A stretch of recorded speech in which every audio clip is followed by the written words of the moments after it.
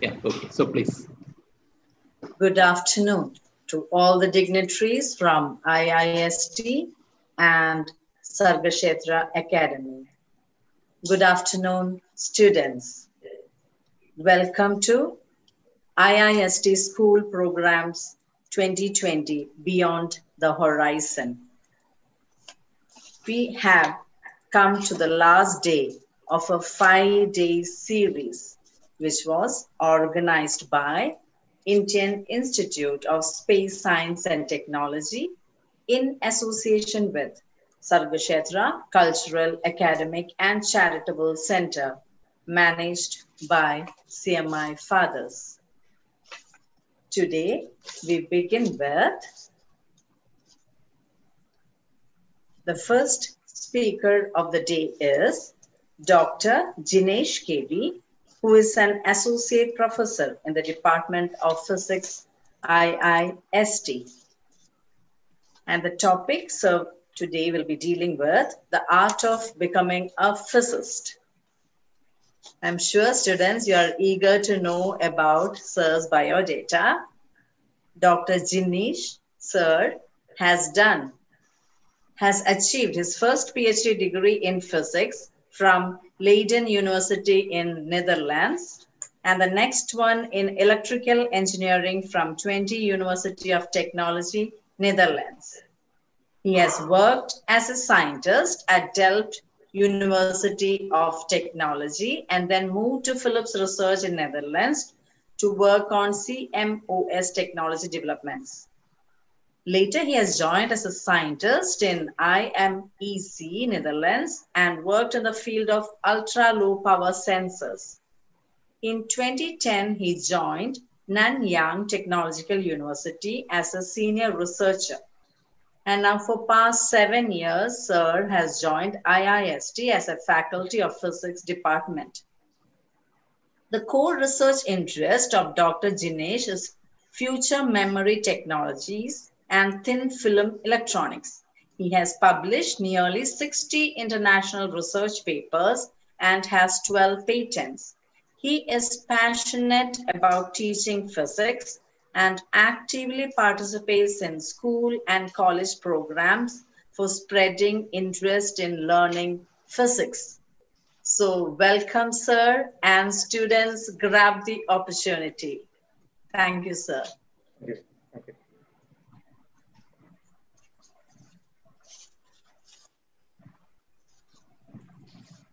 So I will share my screen now.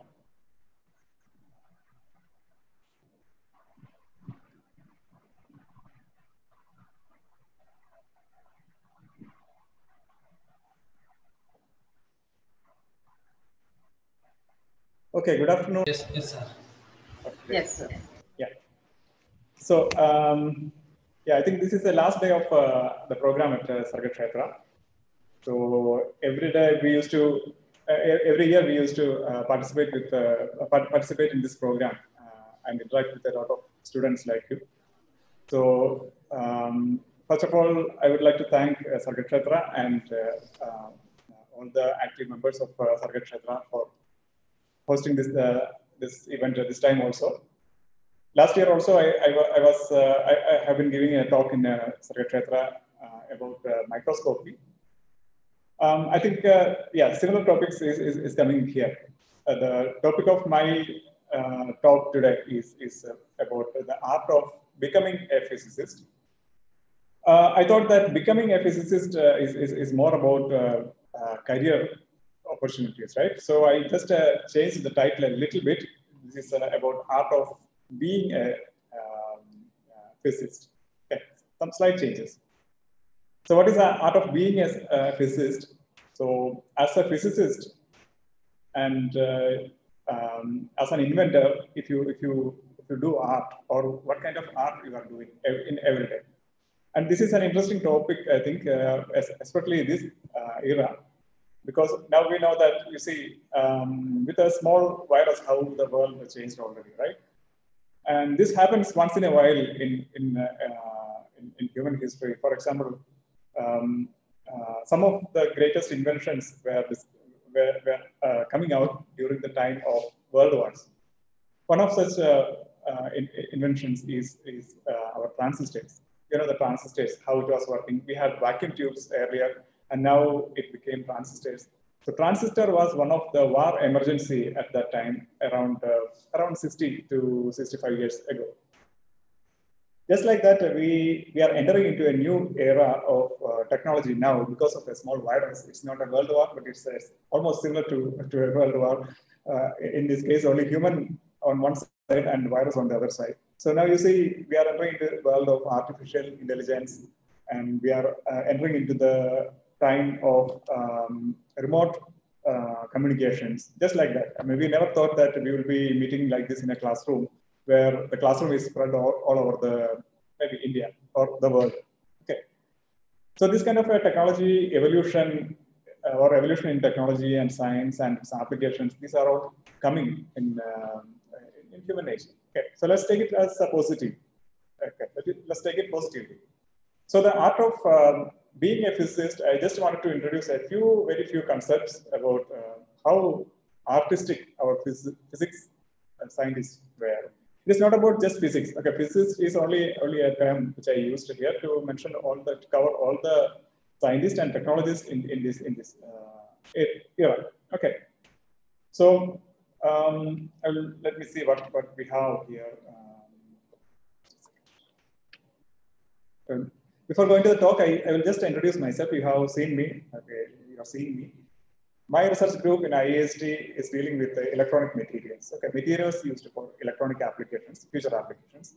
You will all know um, these kind of things later on. Okay, when, when, you when you come to colleges and when you come to universities, this kind of research you will, you will come. These are specialized uh, uh, research. But first you learn physics and chemistry and science, all, all the uh, all the basic science you learn, and then you come to specializations. So we have specialized in materials for used for electronics. Okay. So what do we do? One, one of the things we do is actually to, uh, to study about uh, or research about memory devices, our future memory technology. Okay, we, we don't have much time to talk about all these things.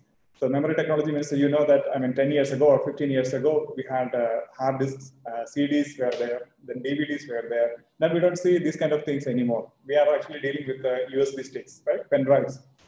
So the technology is tremendously changing, and the amount of data we can store in a small area is increasing. So we are almost uh, reaching a limit of um, uh, storing data. Okay, that is where we have to research more on what are the new possible technologies where we, we can store even more data. You see, if you take uh, our mobile phones, we are taking phones uh, uh, to everywhere and we are taking photos everywhere. You see, most of the photos we don't even use. Okay, we take, if you see a um, situation, we take a photo, maybe five or 10 photos we will take, but one may be useful. The rest of the nine is, is, is just remaining there for years. And you don't even care about that until you have a space problem or a storage space problem. Which means that uh, we, in our future, uh, in, in, our, in our future, we will be dealing with the terabits of uh, memory, not uh, megabytes or uh, gigabytes. It will be terabits or even, even larger.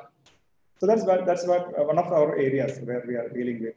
And very interestingly, as I told you, where, wherever we can introduce art into the science or wherever we can link art and science, that would be a wonderful, that will give wonderful results. For example, if you just imagine how we are thinking and if we can create electronic um, uh, counterparts, okay, just like our brain, if we can create a brain out of silicon or electronic networks, that would be wonderful, we think, okay, because, um, because we have something called artificial intelligence coming up.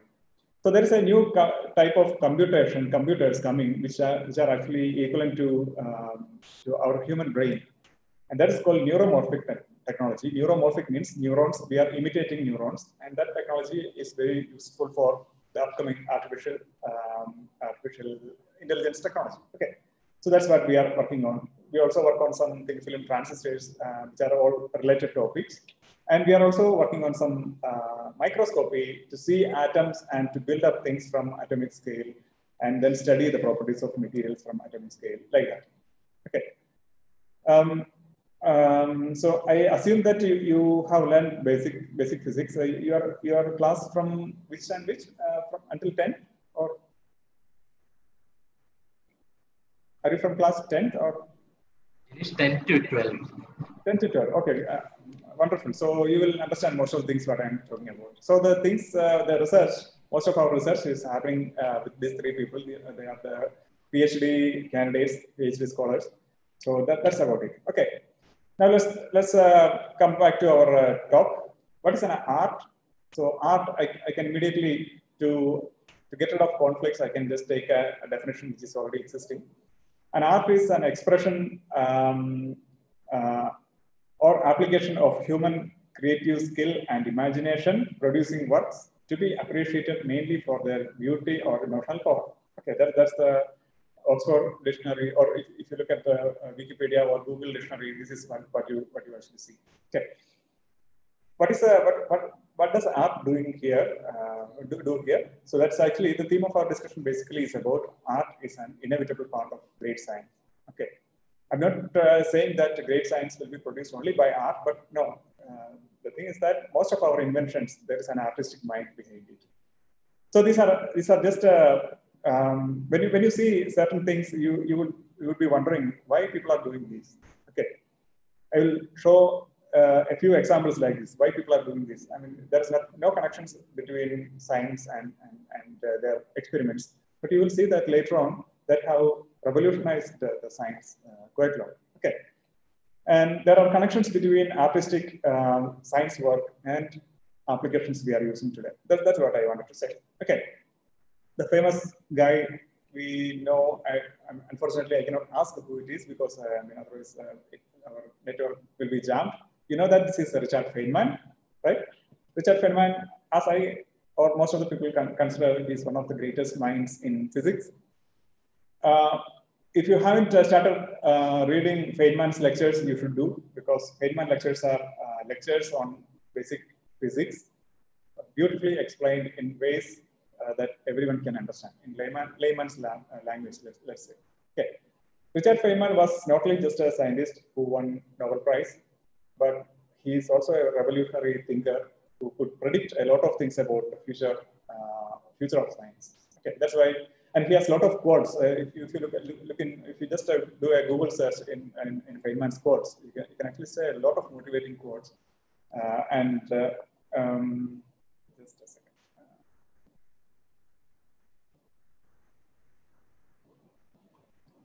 Okay, so um, one important thing about Feynman is that in uh, 1959, 1959 December, so some people say 1960, okay.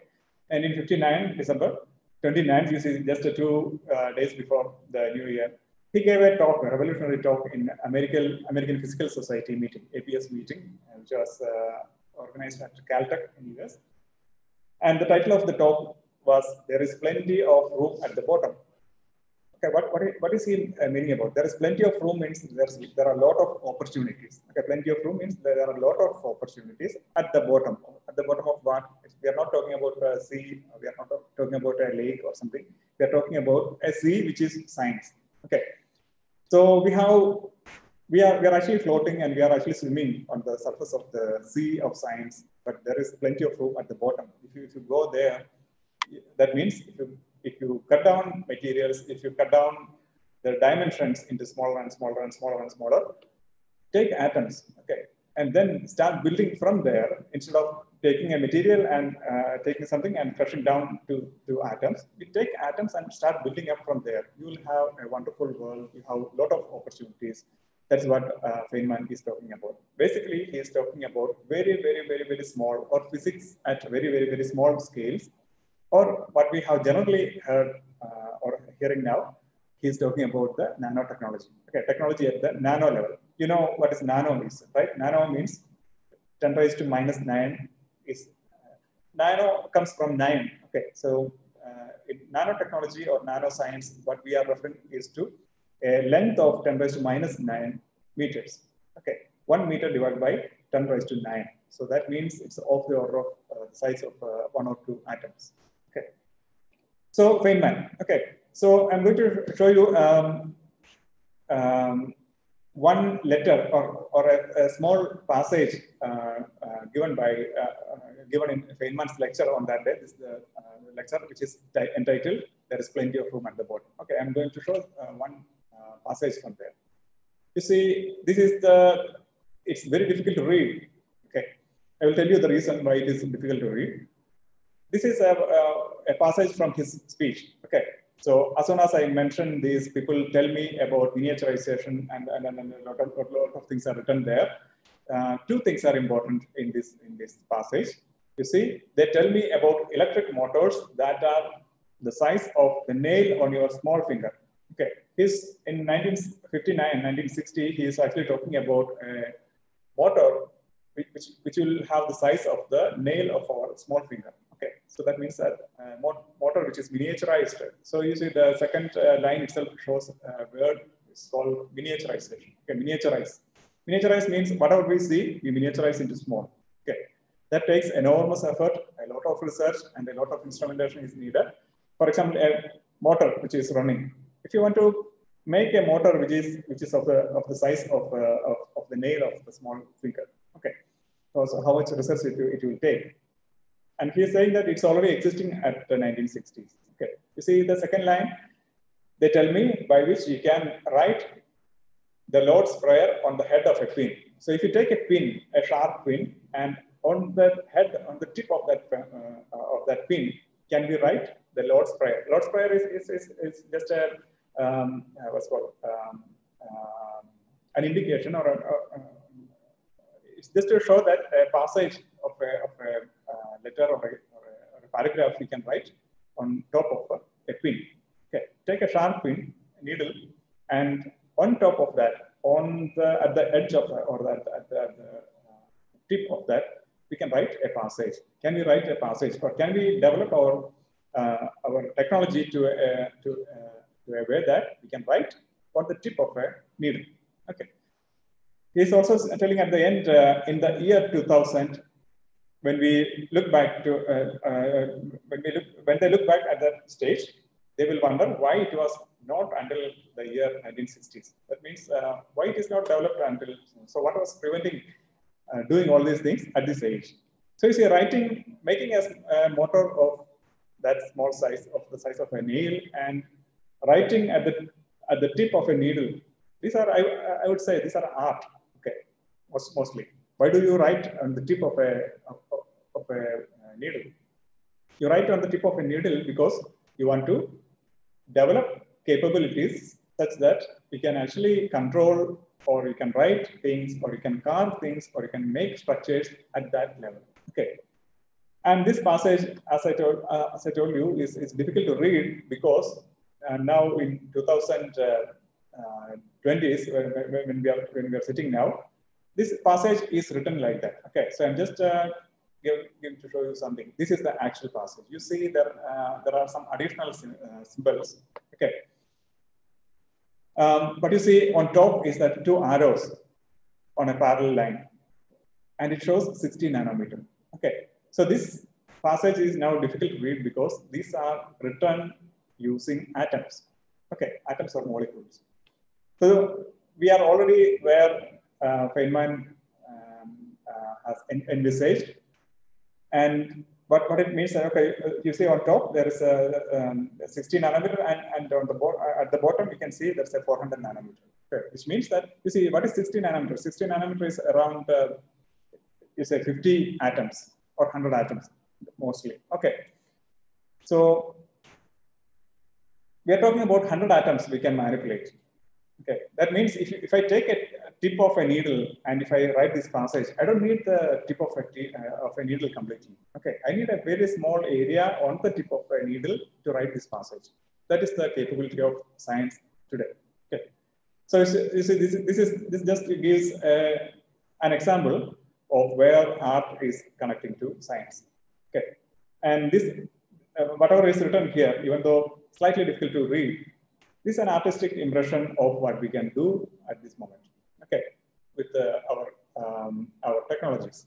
So this is where I wanted to connect science and art and how art, art is a demonstration. In science, art is a demonstration of our capability. Okay, that, that's all what I wanted to say. So how this is written, using what type of uh, uh, technology this is written, I will tell you in the coming slides. Okay. Okay, so this is a 100 uh, atoms. So that uh, L, okay, that the people is there. So people uh, the L of that people, that the width of that L is only 60 nanometer. 60 nanometer means less than 100 atoms.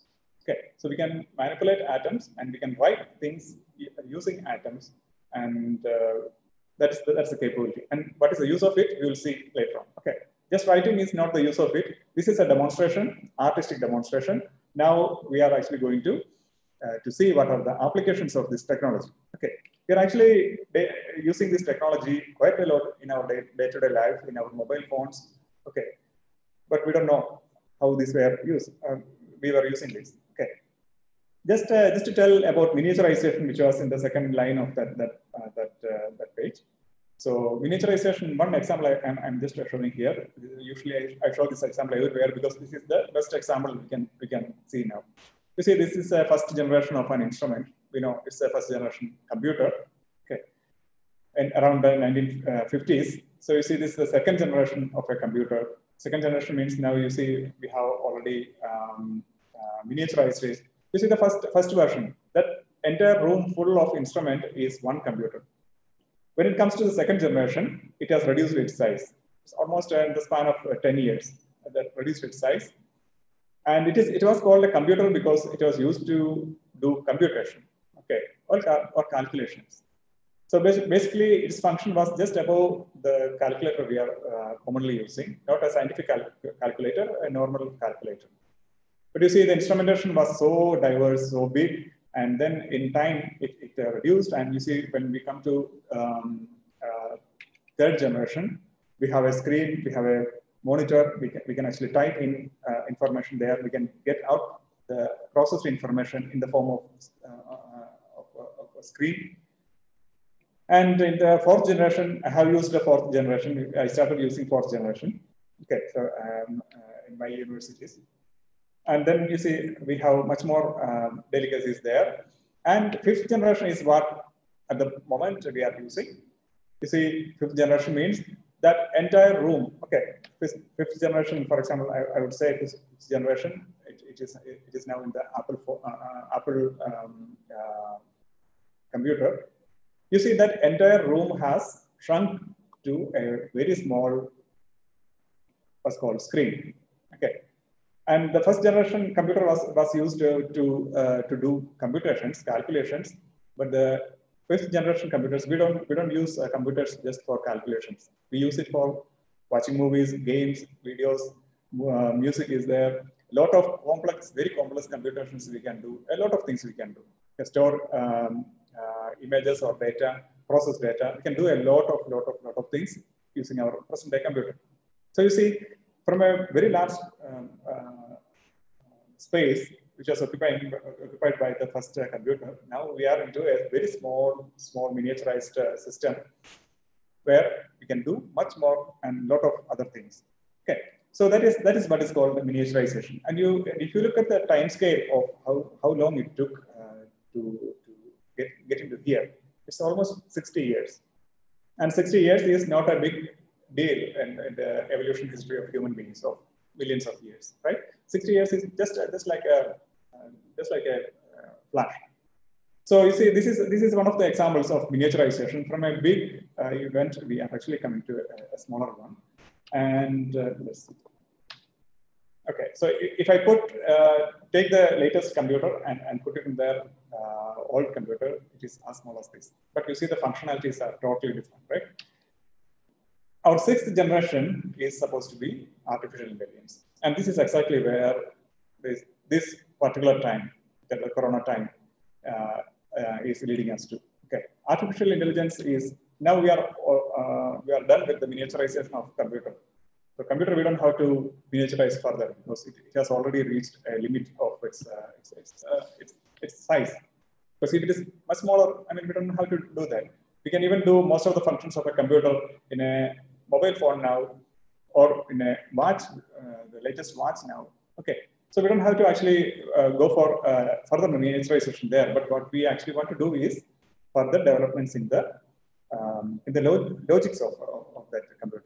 Okay, so that, that's where sixth generation is, is related to, to the, the, the software part of that, and it will be mostly artificial intelligence. You know that artificial intelligence is, is, is actually intelligence, electronic intelligence, which, which actually is used uh, to predict things or to give suggestions, we, are actually using it quite a lot. Where, for example, when you're typing in Google, you're typing something halfway, Google will suggest whether, a, a, list of things uh, to see whether this, this, is the, this is what you want or, or like that. Okay, so that is actually artificial intelligence. If you order food in uh, using um, uh, any apps, okay, any any uh, anything, it will immediately tell you what are the restaurants around you. So that's that's uh, artificial intelligence because you are getting suggestions. Okay, you don't have to worry about uh, which one is which one I have to look for. No, there are suggestions. You just pick up from them. So artificial intelligence is going to be very uh, crucial in, in, the, in the uh, upcoming uh, technology. And then here one example. Okay, again, we are coming to art. You see uh, six beautiful faces here. Okay. The interesting thing about these, these faces is that these are faces of human beings who do not exist. Okay, that's the interesting thing because uh, these are faces of people who do not exist. And, and, and, and you see how realistic it is, how beautifully uh, or how original it is. now, if I am saying that these people do not exist, what does it mean? Artificial intelligence is capable of, uh, as I told you, suggesting things. And what, what uh, they have done actually is that they have collected the faces of millions of people. So they have a database of uh, millions of faces uh, all around the globe. And they have compiled it, it according to the ethnicity of, of faces. For example, American faces, Chinese faces, African faces, Indian faces, like that they have actually uh, made different, different uh, um, segments. So from that, you can, you can actually do a, um, a compilation of a new face, which, which will have that ethnicity of a particular person. For example, a Chinese face um, will have certain features other than an American face or an Indian face. Okay. So using those particular ethnicity, you can actually create uh, millions of faces which do not exist. Okay. The interesting thing is that this, uh, this the site of uh, the, the, site you can actually in this site, for example, the, the site name is the person this person does not exist.com. If you go there, you can actually see millions of faces which uh, do not actually exist. Okay. And this database was created by Philip Wang, a software engineer at Uber, and, um, uh, and, and, and, in their research lab actually. Okay. So what is interesting here is that you, you, see, I mean, if you look at these faces, for example, look at the first face, you can see that uh, by choice, by this uh, permutation and combinations of uh, features, you see the earrings on left and right, they are different. Okay. And that is that's the case of uh, most of uh, most of the faces here. For example, just below that, on the last face, that right face. You see, one ear has a earring, the other earring, uh, another ear does not have an earring. Okay, that actually comes from the combinations. Okay, that itself uh, shows the authenticity of, of the images. So, which actually means that uh, maybe maybe in future our movies will be created by newcomers. Okay, which are you know, which are do not existing. Okay, so this kind of interesting applications are there for uh, for uh, artificial intelligence. Okay, just, just to show one example. Okay. So is it easy to transform our brain into an electronic brain? Or how capable is our brain comparing to an electronic brain? Okay, that, that is the, that's the basic question when we talk about artificial intelligence. Okay, this talk is not about artificial intelligence. I'm just uh, telling some of the complexities and some of the artistic forms which are uh, coming from this particular example. It's actually not easy to create a brain out of, out, out of computers because our brain is much, much, much more powerful than any computer, any supercomputer which is existing. I'll show you one example. IBM simulated the functioning of a cat's brain. A cat, its brain, some of the functions IBM created to do that. Okay, not, not, the, not the simulation of a complete cat's brain, but uh, some functions of a cat's brain IBM had to use two supercomputers called Blue Gene, and they, they contains 1,47,456 uh, computers okay, in a row with 144 terabit of memory. So that much huge computational power was needed to simulate the functioning of a cat's brain, some of the some of the functioning of a cat's brain. So such a complex thing is what is what is our brain is, what our brain is. Okay. So replacing a human brain by electronics is, is at the moment totally out of question. But that is that, that we don't know how to do. Anyway, we have brain. So why we have to, to create again a complex brain out of uh, computers? No, that is not the purpose. But if you if you look at that, how our brain is functioning, we can actually uh, use the way our neurons are functioning, how we remember things, how memory is stored in, in our uh, brain, and how we are using that to process data. That is a new type of, that leads to a new type of uh, computation called neuromorphic computation, as I told in the beginning. Okay. So what is the net, what is the future of, uh, of, of these things? You have, uh, you know what I'm coming to. So you see, there's an ideal handshaking. That means an ideal um, collaboration between electronics, physics, chemistry, engineering, design, everything is there. Okay. And I did not uh, write art there because art is already there in the last word, which is uh, design. Okay. So design is an inevitable and essential part of science now. And we know that we have information technology there. And as a combination of all these things, we have a new technology. And you might know Sophia, right? Sophia is, a, is, is, is one of the first, no, the, not one of the, Sophia is the first humanoid to get a citizenship. She's a robot. She can do or almost uh, 62 facial expressions. She can answer questions, very uh, intellectual uh, answers. You can actually uh, see those answers or, or these interviews in, in YouTube. I, I would encourage you to go there and see the conversation between this robot, humanoid robot, and, and, and men she's a, yesterday I was watching a, a YouTube uh, video, uh, which, which, was actually a conversation between a man and, and Sophia. And uh, um, she's actually asking the man, how, how, sure are you that you are not a robot? Okay, so this kind of intellectual discussions you can actually see in, in, in YouTube. So Sophia is one of the uh, examples of artificial intelligence and how it is going and uh, where it is going. Uh, this robot is not a self-thinking robot and uh, uh, the, the, consciousness part. Okay, we all have consciousness. That is the property of a living body. Electronics does not have its own consciousness. It has data stored in it, and whatever comes out is a process is the result of the data processed. Right? Uh, so, so like that only.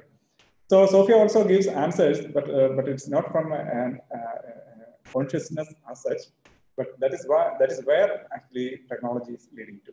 Okay, so we don't have to go there because that is uh, that's too much. Another example of uh, miniaturization is, is memory. Uh, this also I used to show in all all the uh, talks.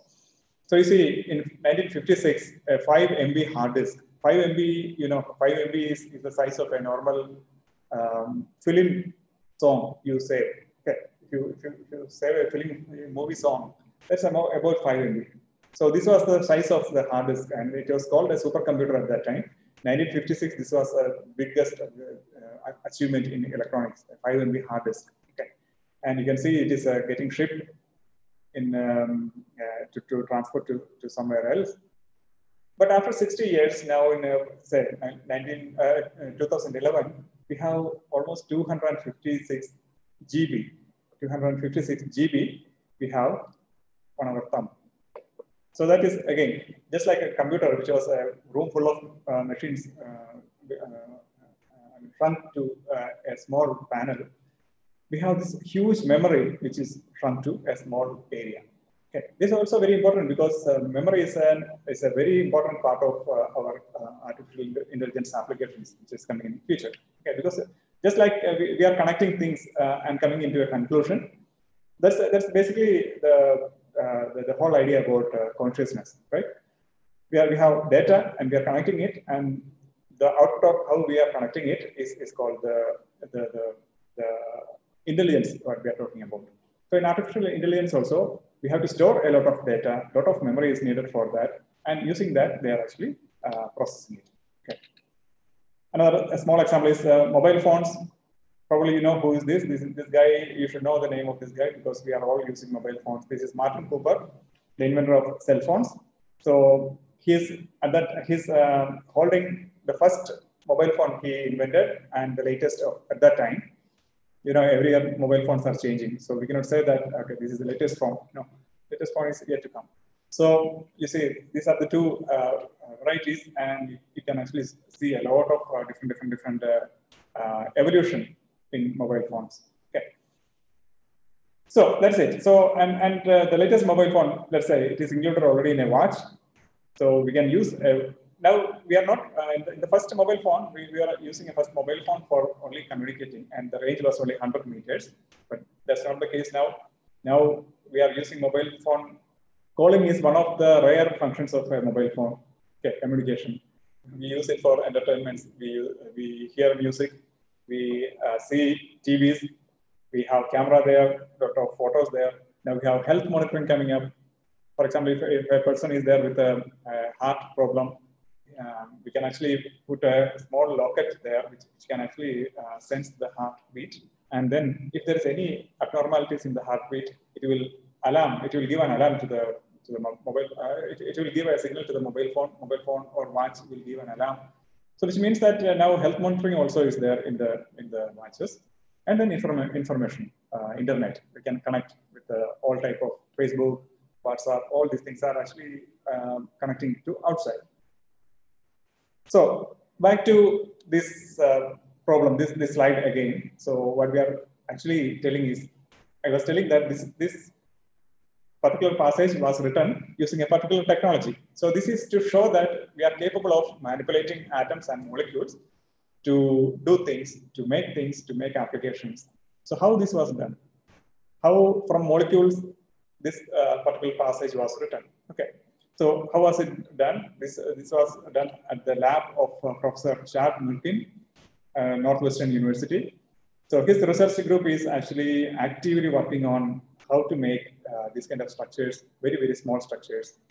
And this is not to just write passages on a on, at the tip of a pen or like that it has tremendous, tremendous applications. I will show one of the applications. So you see, this is called dip pen nanolithography. Okay. So this is basically dip pen. Uh, what is dip pen? We use uh, in olden times uh, we, we have a pen which, which we have to dip in the ink and then we have to write again, dip it, write it, dip it, write it like that. So this is something like that, but on an atomic scale or a nano scale. Okay. This is a tip of a particular instrument called atomic force microscope. It's a very sharp tip what you see here is a, a very sharp tip. And there is a reservoir of certain molecules there at the top of the tip. Now what, what happens as you move this tip away, what happens is that this ink slowly comes to the surface and that's, that ink contains molecules which can align on the surface and you can write anything on the surface using these aligned molecules. Molecules, this, these are particular type of molecules and these are particular type of substrates. These are particular type of uh, specific type, type of um, needles. So using this, we can actually make standing molecules on top of uh, surfaces. This technology, you will come to, uh, to this later on. This technology is called dip pen nanolithography. And this molecule assembly is called uh, self-assembly. That means um, by certain fundamental rules of uh, physics, these molecules will not fall down, it will stand up like this. Okay. So um, that type of molecules are there. And using this, you can write anything, right? You can you can write um, um, uh, passages like that, but but that is not the uh, the actual application of it. You can actually create circuits at a nano level. Suppose you have a very very very very small transistor, which is of the size of uh, uh say uh, a few nanometer. Actually, uh, nearly five years ago, the size of a transistor was 40 nanometer. Okay, what is 40 nanometer? 40 nanometer is around roughly the size of a virus. Okay, let's say coronavirus. 100 to uh, uh, 50 nanometer is the size of a coronavirus. That is the size of a transistor we are using now. And if this is the size of the transistors, how do we connect these transistors uh, each other so that we can we have a circuit? Okay, we have to connect transistors. Then we will have a circuit. Then we can use it for applications. Those, so these kind of nano connections are generally I mean, it's, it's, a, it's, a, it's a big challenge to, to create these kind of um, uh, connections. And dip pen nanolithography can do that because it's a, it is connecting um, uh, between transistors or, or devices using these small lines, which we can actually write using this particular uh, technology. Okay, one example I will, I will show you. This is uh, a, an image created by dip pen nanolithography by um, A-STAR in Singapore. A-STAR is a, is a, is a research um, organization in Singapore. So they have, they have created a beautiful face out of it. And uh, if you if you if you just uh, take a, printout of any, any, anything, okay, and if you look at what is the maximum resolution you have, that is 300 dpi. Okay, what is dpi? If you take one inch, there will be 300 dots. So if you print out something from a printer, you'll have maximum 300 dpi. That means you have 300 dots there, and that that is what you are uh, when you look from away or when you are looking at, you don't see the distance or the gap between the dots so you will see that if you, if you, for example, um, for example, look at this screen. So I have written something there. Normal images have resolution. Look at that N. For example, it has certain resolution. If you go zoom in, zoom in, zoom in using a microscope, you can see that these are individual pixels. Okay. So this pixel, if you want to see these pixels, you don't have to zoom in. You just put a drop of water on your mobile phone and, and see on the screen. You can see the pixels. Okay, because water, drop, water droplet is like a lens. You can see it and, and uh, enlarged. Okay, so these are pixels basically. So basically, uh, 300 dpi means 300 dots. That dot can be uh, printed dot. It can uh, when you are printing it on a paper. It can be pixel when you're uh, watching it on on, on, on a screen. But the resolution of this image is 10 raised to 6. That means 10 lakh, okay, 1 million dots per inch which means that you keep on enlarging this image, it, it will still have the clarity. Okay, it will, it will still remain with its original um, uh, resolution. So you can, you can take a snap and you um, save it with this uh, resolution. You can keep on zooming it and you can see with, uh, the, the, details of that, that, that, uh, that particular photo with, still with the same clarity. Okay, so that is one of the applications. So I told you in the beginning, showing this that uh, we can write a passage of uh, Feynman is, is just an artistic, uh, not just, it, it is an artistic view or artistic uh, uh, impression of what we can do or we are capable of. Okay. So if you do this kind of things, we can, in, in future, you will have very high resolution images, very high resolution cameras. These are all possible. Okay. So you, you saw where, where is the application coming from. Now we are back to, again, the same thing. Okay he's, he's telling that, okay, the, the, the second line, which, uh, the second point which I have uh, underlined. You see, it's written that they tell me by which you can write the, the Lord's Prayer on the head of a pin. Okay, so writing, can we write something on the head of a pin? If you take a ballpoint pen, and you, you know that there's a minute uh, millimeter scale, millimeter uh, long or uh, diameter ball is there. Okay. In my um, uh, what's called childhood, we used to after finishing writing, we used to take we used to rub this uh, um, refill on a floor that you get this ball comes out. Okay, we used to take it and, and see. I think I mean we don't have to do anything, but to see what type of ball it is. So you see that ball at the top, at the tip of the ballpoint pen is, is a very, very small. It's a less than a micro, uh, less than a millimeter. Okay.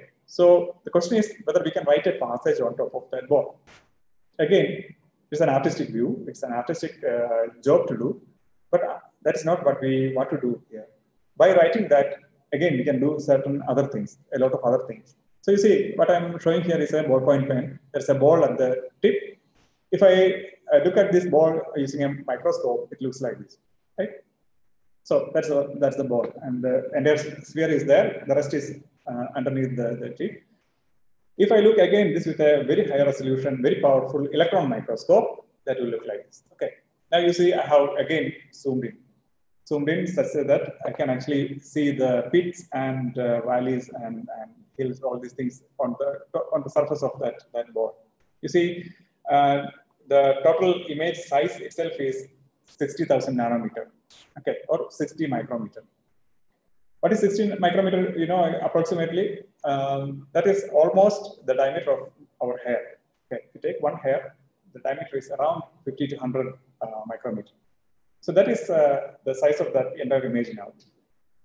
And if I take that uh, previous passage and put it there, that will be as small as like this. Okay, so you see that green, uh, that blue uh, shade there. That will be the passage. So writing Lord's Prayer on the tip of a uh, pen or a tip of a needle is not at all a difficult task nowadays. Okay.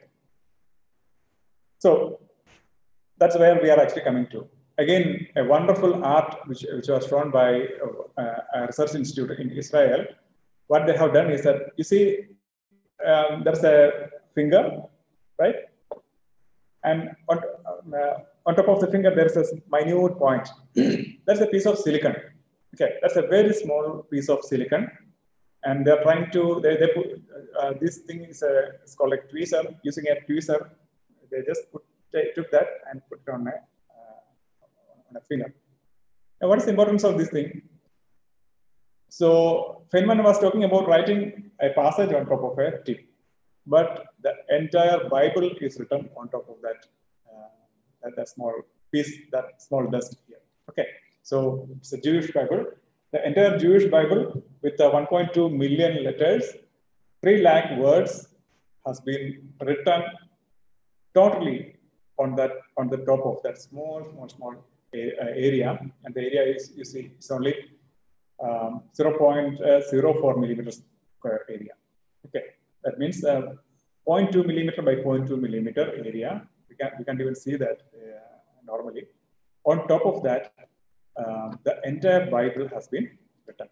So that is the technology. Again, it's an artistic view. It's a, it's an art. What what do we do with this art? It's not to do anything. This is the smallest Bible existing in the world, and I think uh, in near future even a smaller Bible is not going to come because the entire Bible is written on, on top of that small dust. Okay.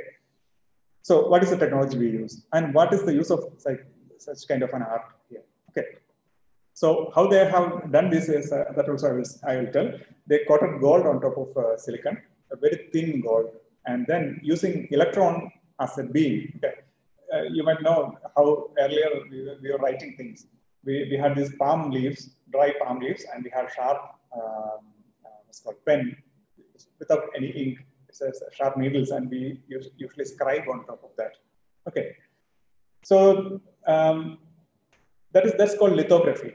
Okay, that's a kind of lithography. Lithography means litho means stone, graphy means graph. Graphically, we write something. So carving on the stone, and in the ancient age, that is called lithography. Okay, but we we don't use stone here. We use electron beams and small electron beams going to the uh, falling on, on, on the gold which is coated on top of the silicon. We can remove atoms by atom and we can write it. So you see, if you want to write the entire Bible on, on top of such an area, how much time it might have consumed, right? So how much time, patience, effort, everything is there. But this is to demonstrate that this is our capability of dealing with uh, things. Okay, so art here is again a demonstration of our capability. Okay, now let's see um, what we are going to do with this, uh, this capability. So you see, I'm talking about electron beams. Okay, how to use electron beams and how to use it for different different applications. This is one of our uh, older generation TV. Now, I don't think uh, um, people will have it because this is a, the last generation TV. Now we have very, very flat screen TVs. If you if you if you open the cage and look at it, the backside of the TV looks like this. This is called the CRT, cathode ray tube. So here, very high potential is applied, and it's uh, it's, it's, actually creating an electron beam here. And basically, the image we see is actually the electron beam, which is actually scanning over, uh, scanning through uh, the, TV screen. That's how we see the image of it. So it's called a raster scanning because it goes there, comes back, goes there, comes back. So we actually see uh, the image which is coming on, on, the, on the screen. And the scanning is so fast that we cannot see that, okay, we, we, we don't, we do not see that uh, it is image by image, but it's actually like a video. Okay. So let's see, this is an electron beam. How to create an electron beam? That's, that's simple. Actually, people have created this even in the last and last um, century, uh, already in the 19th century, people have created electron beams. So this is not a big issue. How you, how you can do that? This is a vacuum tube, a tube, a, a glass bottle where, I mean, air has been pumped out as much as possible. And then you have two electrodes there. Electrodes means this is a metal coin and this is another metal coin. And these metal coins are connected by a very high voltage. Don't try this out because it's a high voltage. Okay, you can you will do experiments related to this later on when you come to uh, science labs. So um, now what happens? You see, there's a very large potential or voltage between these two. We know if there is a large voltage, what happens? Spark happens. Spark happens when there is uh, a little bit of air in it. So now what happens is that we have removed the air as much as possible. So what is coming out is not um, the spark because of ions. It's not like that. I mean, uh, the spark, uh, the best example of a spark is, is lightning. You see, because of the, the, the uh, charge accumulated in the cloud and earth is there grounding. So it actually uh, make a spark. And that spark is what we see as lightning. But that is a different thing. That is that creates ions. But here it is basically electrons which is actually jumping out of the negative. You see it's connected to negative. Okay, this is a negative side of the battery. This is the positive side. So from negative something is coming out. And suppose there is a hole in the middle of this, this uh, uh, electrode, this metal. What happens? Electrons will simply pass through it. Okay, so you'll get a beam of electrons. And that beam of electron is what is um, uh, what is happening in our old TVs. Okay, it's not only TVs, or uh, all computer screens. Uh, in the lab, we, we have cathode ray tubes, CRT monitors. Okay, this kind of all type of monitors. You, you might have seen the, um, uh, the oscilloscope monitors in the hospitals where these heart beats are coming. Okay. These are all uh, these electron beams which are actually falling. When the electron beams fall on a fluorescent screen, it creates light there. And that's how we get a pixel there. Okay. So this is basically um, electron beam. Now you see, if you put uh, a magnet or if you put another voltage across it, okay, plus here, negative here. If you put an electric field across it, you can actually deflect this beam. That's how you scan it. You just uh, put an electric field, you can actually scan it. Okay, you just uh, put an AC electric field. What happens? The, the, electron beam will deflect like this, and you can scan on, on the surface of the TV or whichever instrument you are using. Okay, so these are only these ABC are only to show that okay, we can we can uh, deflect this wave to uh, any anywhere we want, depending upon um, the electric field we are applying. So just by using electric field or a, or a voltage there, you can deflect this beam. Okay. So this is how most of our uh, devices are now working. So the discovery of electron was actually using this setup. You know that J.J. Thomson discovered the electrons uh, already in the last century. Okay, so around 10 kilovolt of uh, voltage is applied there to, to create this electron beam. Okay, so electrons flow from the plate connected to the negative terminal of the battery and it, when this beam comes out, it creates a current in the circuit. So since it is uh, coming from electricity, those particles which are emitting out of uh, the negative side were, were, called electrons. Okay. So electricity, the particles which carry electric electricity or electric charges, that's called electrons. So it also has another name. It's called cath uh, cathode rays. Cathode rays means um, the negative electrode is called cathode, positive electrode is called anode. So when since electrons are jumping out of the, of the cathode, negative, it's called cathode rays. That's why it's called cathode ray tubes. Okay. So that, that's the history. Now, if we take this electron beam and you focus it, you see, if sunlight is there.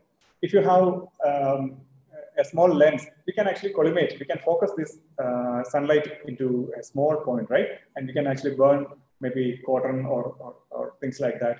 So that means the light is focusing there. Like that, uh, if you are using electromagnetic uh, plates there or electrical plates there, we can actually collimate this electron beam into a very small area and we can actually uh, focus these electrons into extremely small areas. Now, what will happen, just like sunlight, which is focused by um, a lens, which is creating at that focal point, you know, it is heating up. Just like that, if you put all these electrons collimated into a single spot, what happens is that it will burn whatever is there because electrons are very powerful. Okay, electron beam is very powerful, much more powerful, energetic than our uh, sun, sun, sun rays. So what happens is that wherever it falls, it will burn. Like that, if it falls on a thin coating of uh, gold, that gold atoms will, will be evaporated. So if you just uh, use another electron, uh, electromagnet or electric field to deflect these things, okay, this, this uh, beam, you can write whatever you want. Now you don't have to put uh, sit there and and uh, and uh, deflect these things like that. But everything is computerized. You just give the passage in the form of whatever is whatever to be written in the computer program. It will transform into a program and it will control the the electron beams it will write whatever is there. Okay. So now nowadays it's not a big issue to write on, at the tip of a, uh, of a, of a pen or uh, or a needle. Okay. So this is called electron lithography. Electron lithography. So you can uh, make extremely small features out of uh, using ele uh, electron beams. Okay. So basically you burn things out, uh, you evaporate things out, and you can create structures or whatever um, features you want on the surface. Now, what is the advantage of these things? So let's see, this is the basic electron beam. Now, if you have imagination about what to do with this uh, electron beam, you can create a lot of technologies. What type of technologies? When I saw, when I show it now, we can create electron beam lithography. You can write extremely small things. Okay, it has its own applications. Okay, and we are using in our day, daily life all these applications. So this is an electron beam. Um, let's say, yeah. So using that electron beam, we have a TV, okay. Using the same electron beam, now we have a CR uh, computer monitor, and we have a CRT, oscilloscope is there. These are all basically from the um, artistic minds of, okay, people who invented all these things. Basically, there, there is just an electron beam. Now, is there any other application for this? Yes, you can also take X-rays this is how X-rays are generated because these electrons which are actually coming, they, when they hit a surface, it will, I mean, this, as I told you, these electrons have much more energy than our sunlight. So what happens is that these electrons are energetic. They, when they come and hit, they lose all their energy. And this energy is bursted out as X-rays. This is how X-rays are generated in, a, uh, in, in our machines, X-ray machines in hospitals also. So we can create X-rays out of it, and you can use it for a lot of applications, including uh, diagnosis okay, in hospitals. We can we already have uh, electron beam lithography system there, and uh, let me see. Okay, we have one more thing which is called electron microscope. Okay, electron microscope also we can create. Uh, we can create. What is electron microscope? That's a microscope which actually uses, uh, which, which has extremely large um, magnification comparing to normal microscopes. Okay, we'll come to that. So this is uh, our Bible written on top of a small piece of silicon coated with gold and using electron beams, we scribed it. Okay, that is not the application, that's the art. Okay, that's a demonstration of a capability. So art in science is, is uh, that's what I said, it's a demonstration of our capabilities. Okay, it's not just uh, uh, for entertainment. It is the demonstration of our capabilities. Now you see there's something called electro, micro electromechanical systems. What's micro electromechanical systems or MEMS? These are miniaturized motors. Okay, these are motors of the size of a few micrometers. Now we are talking about um, the, the, the, the, first point by Feynman. We are telling about motors which are actually of the size of the nails on our small finger, but we are talking about the motors which are of the size of a hair okay, of the thickness of a hair. So it is far away, again, far off from what uh, Feynman was telling. So we, are, we have already achieved those. You see, this kind of uh, um, this machinery, small, small machinery, this is a gear system which was developed by um, Oregon National Lab in US. And you see, this is small gear systems. The size of this gear system is around 600 micrometers, 0.6 millimeter. Okay, almost half a millimeter size is the size of the entire. So you see, that, that is the capability. Now we are actually using this kind of MEMS actually a lot in our day-to-day -day life. I will tell, tell a few examples. Okay. Also, this, the transistors we are using in our phone, in our mobile phones, or in our laptops, the size of these uh, things, these instruments or these uh, devices is much, much smaller than what we are thinking. Okay, but, but even we cannot see it with our uh, naked eyes. Okay. So now what is this uh, electron? Uh, a few examples of uh, applications of MEMS we can see. So this is these are MEMS. Mainly these are called the capacitive MEMS because by changing the capacitance, by measuring that change in the capacitance, we can see whether we are moving or not. Okay. One example is, uh, for example, here. This is uh, how one capacitive MEMS is working. You see, we I'm, I'm not very sure whether you have learned all these things already. This is just a capacitor. Okay. You see, the capacitance is between this line and this line. And you know that uh, capacitance is given by K A divided by D. Okay. What is K? K is the dielectric constant. A is the area. D is the distance between two electrodes. So now you see one set of electrodes are fixed here. Another type of another set of electrodes. This is green ones. They are moving. Okay. Now what is the advantage of this? Suppose we are not moving this chip. Okay, it is, it, it is standing still. So what happens? It is in the it, it is in, at rest. It is not moving. But the moment we started moving, what happens? This uh, uh, uh, this movable part in the middle it started moving, and there's a change in the capacitance. Now, what is a, what is the application of this one? Again, from art we have come come to a small application here. But if, if I look, look at the application of this one, so we can detect whether something is moving or not. Okay. And this has a lot of applications. The main application is in our airbags. If you put a sudden brake in your car, a bag comes up, right? And that uh, action has to be very fast. That means if you put the brake, sudden brake, the airbag has to come instantaneously, not after five seconds. Then it is useless. Okay, people will be already dead. So it has to come instantaneously. That means there should be a rapid action that, uh, okay, I put the, I put the brake and immediately have um, an airbag, airbag coming up for rescue. And how does the car know that uh, uh, I have put the accelerator? That means if, when I put a sudden brake, the car is coming into, into a sudden stop. What happens to this uh, capacitor? This moving capacitor, capacitor it, it comes very close to the one of the uh, of this green, uh, the green size, the green needles will come very close to the blue ones. And then there's a sudden change in the capacitance.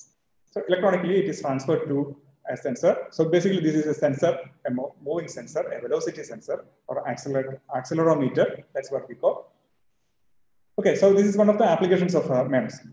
What I'm saying is that electron beam lithography, uh, using that, we can write, we can write uh, the entire textbook on top of a silicon, but that is not the uh, application of it, the application of it, it comes here. Okay, by making this kind of small, small chips containing large number of capacitors, we can make, uh, for example, an um, uh, sensor accelerometer for, for, uh, for our um, cars. We can also make heartbeat monitors. For example, now our latest um, um, watches, we can actually band, okay, right? We can actually put it on our hand and we can see what is, uh, what is heart rate Okay, just before the presentation, what was my heart, rate? And after that, what is heart rate? Okay, all these things we can actually see. So monitoring the heart, heartbeat also is important. Now, advanced types of stethoscopes are coming where actually we can put a, a small pad on, on our chest and we can see the, the, ECG signals very clearly. And we can even see, even there is some minutest uh, problem in the heart, we can actually see. Okay, so this is the area where this app is developing into. Okay. And of course, in space, we have to see the motion of the entire space vehicle, spacecraft there. Okay, so how do we see that? So we, if you want to monitor what is the velocity, what is the acceleration of our spacecraft, we know we are actually going against the acceleration of Earth. So the speed, the acceleration has to be maintained. So if we want to monitor all these things, again, this technology is used. So you see from a normal handband to the spacecraft or the space vehicles, we are using same technology of writing um, what's called a script on top of a needle. Okay, so that, that's the point here. Okay, there are motors of the size of one millimeter, and I don't know whether this is uh, visible to you, or if, unless you, you have large bandwidth, uh, may not be easy to see. But you see, these are small motors, induction motors. Okay, these are coils. It's basically a coil, but it's very difficult to make induction motors uh, on a miniaturized scale because of a lot of uh, uh, limitations, okay, we have for creating these kind of structures. Okay, so next one is, uh, I mean, quickly going gyroscopes. Again, another example, another application of uh, MEMS. Uh, you see, gyroscope is what, if, if I have a platform there, however I, I take, uh, I rotate the, uh, the, the rest of it, that platform remains the same. Okay, where is the application of this one? So for example, in mobile phones, okay, um, yeah, so in mobile phones here, for example, uh, in, in, in games, for example here, because you are actually, uh, uh, you're actually continuously trying to, to move something, okay, and how this movement, movement is, is, is controlled, how, how this movement is translated into, into an electronic space, that's actually because of these uh, gyroscopes, okay. Again, in space, it has tremendous applications because you have to see in which direction we are looking into. If you want to see Earth and uh, on Earth, if you want to see certain things, you have to maintain that that that uh, uh, that, that, that accuracy of, of seeing extremely well. And for that also, you see from from a nail, from a from a very small uh, application to space applications, we have all these uh, technologies coming in picture. So this is the summarization of, of, the, of the electron beam. You see, using a simple electron beam invented in the 19th century, we have now a large number of, uh, a lot of uh, different, different type of uh, um, uh, applications coming Okay. I think I'm actually running out of time, so maybe I will, I will uh, quickly go through some of these things. See, this is the electron microscope. Uh, now, why electron microscopes are there? Because we have optical microscopes with which we can actually see maximum uh, bacteria or red blood cells. Okay, there's something called the resolution limit, which is uh, called the diffraction limit. You might have learned this. If lambda is the wavelength of light, average wavelength of the light, we cannot see anything which is uh, smaller than lambda by 2 separated. Okay, so if two, uh, two objects are there, separated, separated by a distance which is lambda less than lambda by 2, we cannot resolve them we'll see them as one single object. So that is the resolution limit of uh, optical uh, microscopes. And if you want to see something further uh, in, in, a smaller uh, area, what we have to do is that we have to replace light by electrons.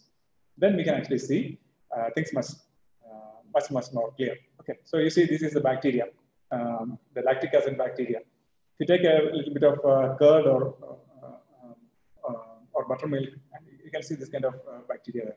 They are not very small. They are actually 800 nanometers. 800 nanometers means close to one micrometer. You can actually see in, in, a, in, a, in a microscope. Red uh, blood cells, you can see very clearly in a uh, very advanced microscope. Okay. Confocal microscopes are there. Advanced optical microscopes. You can see blood uh, red cells. Okay, these are red cells of uh, our blood. But if you want more resolution, okay, this is the maximum resolution uh, what an optical microscope can have. But I want to see the details of this red blood cell. What, what I will do, I have to use, I have to replace light by electrons, and then it is possible to see the, the blood cell. And you see something like a, um, what, what do, a bun or, or, or uh, let's say, uh, uh, chana batura or something like that, because you see, this is a red blood cell, and what you see, these five small balls in, in it, they are bacteria. So this is how bacteria um, attacks a blood cell and kills it. Okay, that's how infection comes. So you see now you have much more clarity, you have much more information from this uh, from uh, from this microscope than an optical microscope. But you see below this um, um, stem-like thing, that is the electron microscope of a human hair. Okay, human hair before you take bath. Okay, after taking bath with a good shampoo, it, it will get uh, smoothened out. You see, so, so this is a, these scalps are actually scalps of um, hair and now it is smoothened out. Okay. A lot of research is going in the field of uh, shampoo companies. Okay. By the by shampoos. So after putting shampoo and after putting softener or um, conditioner, you can actually see in electron microscope images that there are changes in the in the structure of uh, hair. So the top hair they will stick together. The bottom hair they will or like what you see in advertisements. Okay, so so you can actually understand a lot of things about uh, how these things are. This is a cross section of a hair, human hair, and that also has a lot of things to do. If it is perfectly circular, you will have a straight hair. If it is slightly elliptical, you will have a curly hair. So depending upon the cross section of the hair, your nature of the hair changes. So how do we know this? Only by electron microscope. Okay. And quickly going, uh, this is the what you see here is the eyes of a mosquito. Okay, I already destroyed the, the curiosity. So this is a mosquito. and its eyes are here. You zoom it in, zoom it in, zoom it in, zoom it in, and what you see here is, is the one eye of a mosquito. So you see, its eye is a complex eye. Okay, it's not just one uh, retina uh, like what we have. It has lenses, it's an array of lenses. It has the advantage that it can be used for three-dimensional view. Okay, it's not easy to kill a, mosquito like this, right? Because it, it can actually sense almost uh, uh, 360 degrees. So where is its application? If you see that, okay, this is a nice idea. We can actually use an array of array, array of uh, uh, mirrors or lenses. We can also see something in 360 degrees. Okay, may not be weak, but it, it is a it has tremendous applications in defense, for example. Okay, where you have to see a lot of things around it at the same time. Okay, okay so cold virus, you can actually see under electron microscope. You see cold virus, coronavirus, they all look, uh, look the same, okay, uh, because they are all in the same category. Um, it's beautiful images of uh, uh viruses you can take using electron microscope. That's uh, okay. That's uh, again art. It is photography is an art. If photography is an art, this is a, another type of art. I think I'm running out of time, so finally, I just want to, maybe I will skip all these things. Um, how much time I have?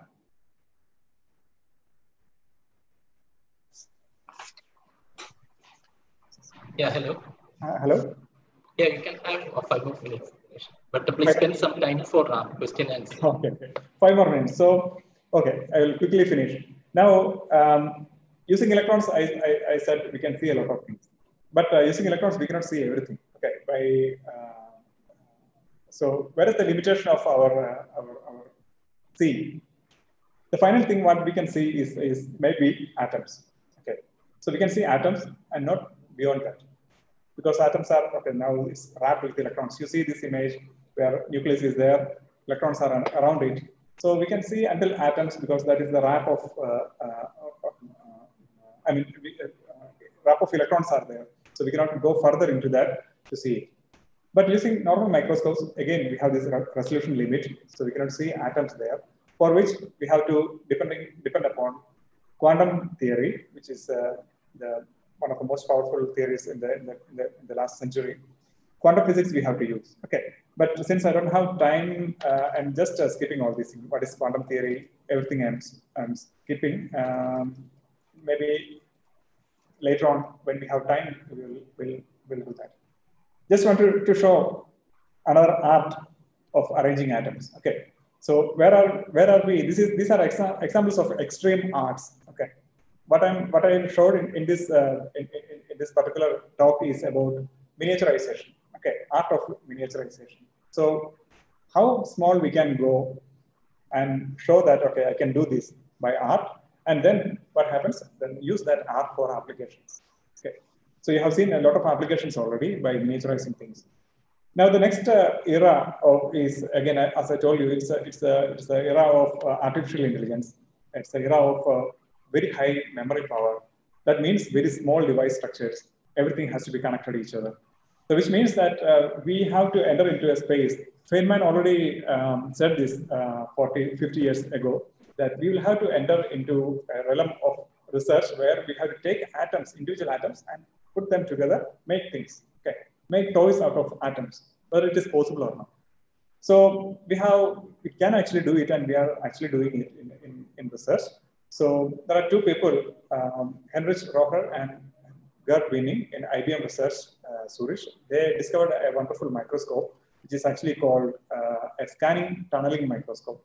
Okay, details we'll, we will uh, we'll talk uh, discuss later but this is called a scanning tunneling microscope. What what they actually do is that they have a very sharp tip a very sharp tip coming close to a surface.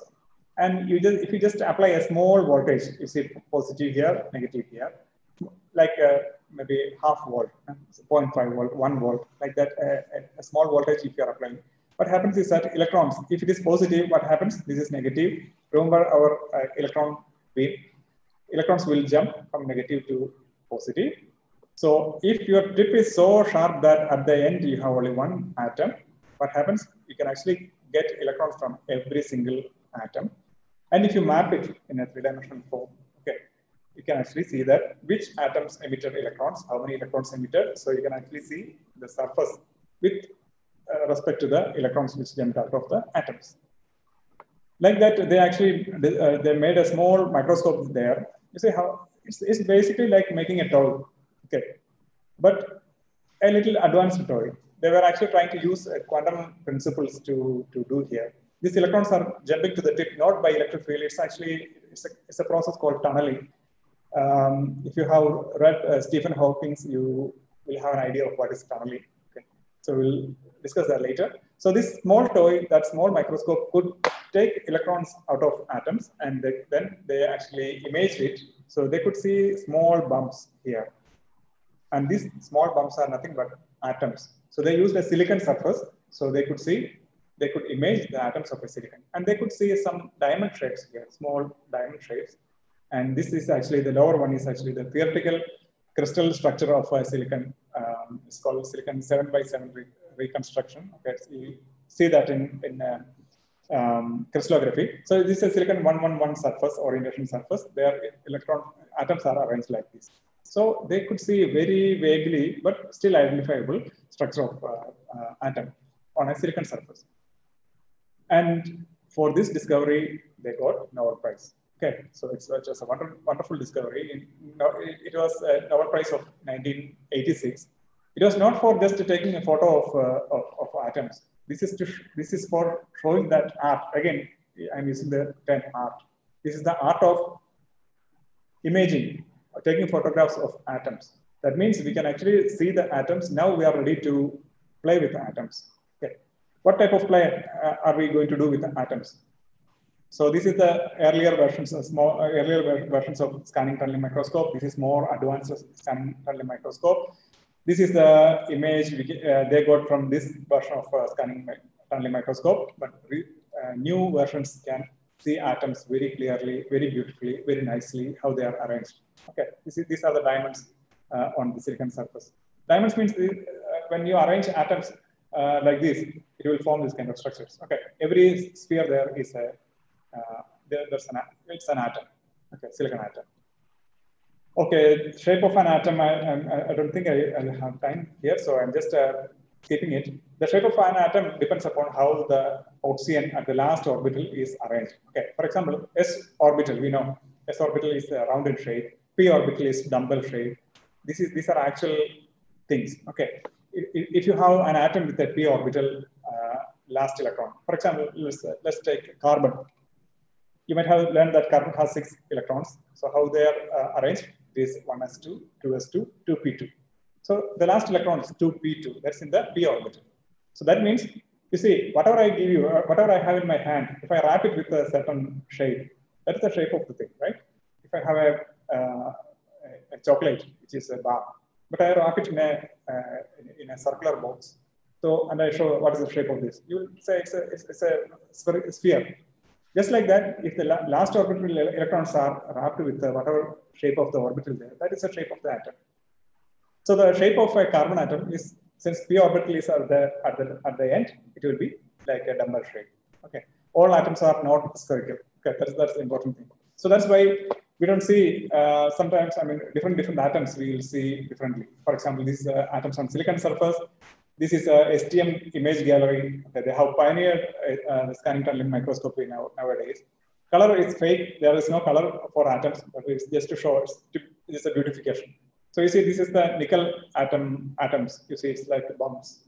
But at the same time, platinum atoms are like uh, idlis. Okay, so it, it is it's more spherical in nature. So this is a something called holmium atom, one single atom.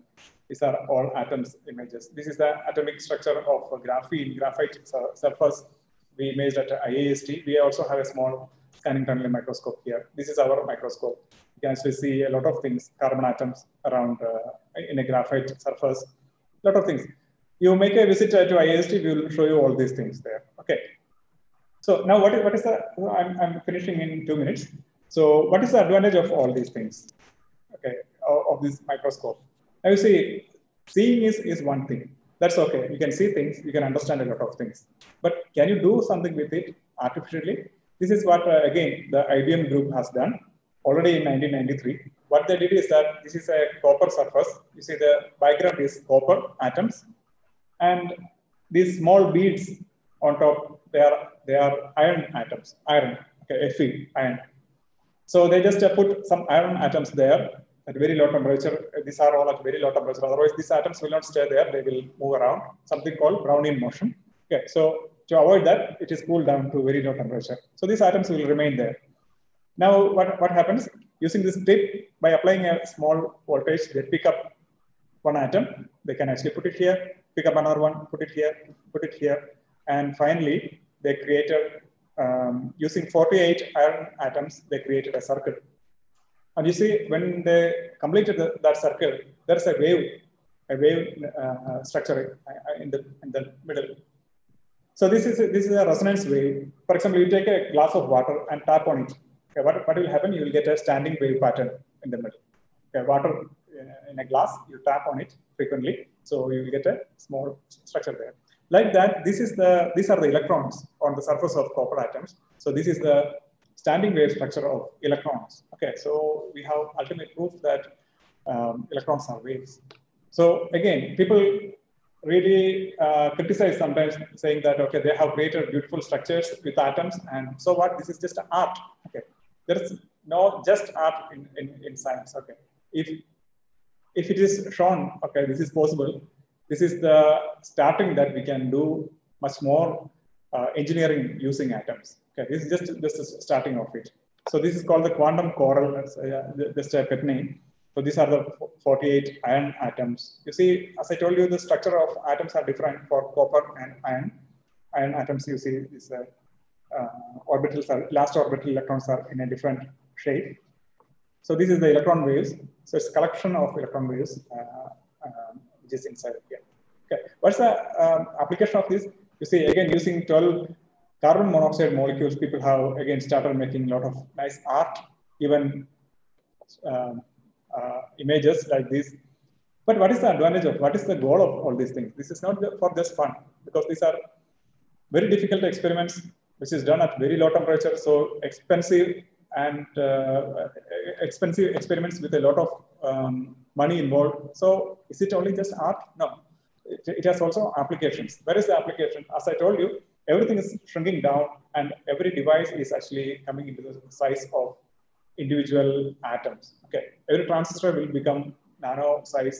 Few atoms plugged together will become a transistor of future.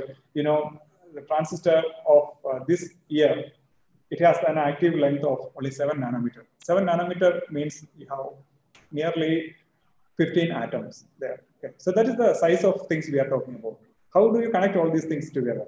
And you need a, again, as I told you before, in the dip pen nano lithography we discussed, we need to connect them. These connections also are nanoscale. So there, we can actually use all these things. There is something called molecular scale logical circuit. Molecular electronics is coming up. So this is basically a starting of all this art of being physicist is, is actually to keep in mind that the future technologies will be opening up. Okay, so tremendous technologies are coming up in, in future. Uh, actually, uh, because of the bandwidth problems, uh, I may not be able to show this one because this, yeah, this you can actually see. Um, all of you can actually see. In, go to YouTube and see, uh, and just type a boy and his atom. You can actually see that people have IBM research group has actually uh, successful in manipulating atoms, atoms by atom. And this is a world record winning uh, movie because, because of the smallest actor. Okay, what is the actor? It's a single atom. It's actually a single carbon monoxide molecule. So you can actually, please go to YouTube and see later on this, uh, this movie. Okay, you can see how far we, um, uh, scientists are successful in manipulating atoms or creating. This is again an art in itself. But it shows that we are capable of manipulating individual atoms and doing things what we want. Okay. So now it will open up further future. Last slide. You know, these three guys, Thomas Al, um, Alva Edison, Alfred Nobel, and Albert Einstein. What is in common for these uh, three genius people? I mean, I have done and, and, at, the, at the bottom, they have several, several, several patents. Even Einstein uh, was not well known for his patents, but he, he was a patent officer, at a patent attorney in, in a patent office. So he also has 50 patents. So you see, Edison was a person with a dramatic or tremendous artistic mind. Okay, because whatever he saw, he saw solutions there. Okay, so solutions there, applications there. So, so the thing is that uh, when there is a uh, problem or, when there is a theory coming up, when there is a new physics coming up, if you can imagine that it can be artistically, so you, you just have to view it with an artistic mind, then it comes out as applications. That, that's the essence of the entire talk I was, uh, I was giving. If you have an artistic mind and if you have physics or chemistry, it doesn't matter. Physics is just an example, physics or chemistry or whichever science uh, you have in mind it suddenly converges into, into, into or diverges into applications.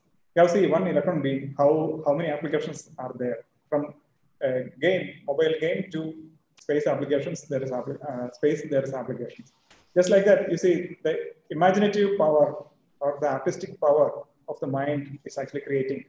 For example, 2000 patents means that mind is such a beautifully artistic mind okay, or such a creative mind. I'm not saying that Einstein is not creative. He, his genius was on, on, on another side. I mean, he could imagine what people, normal people could not even imagine.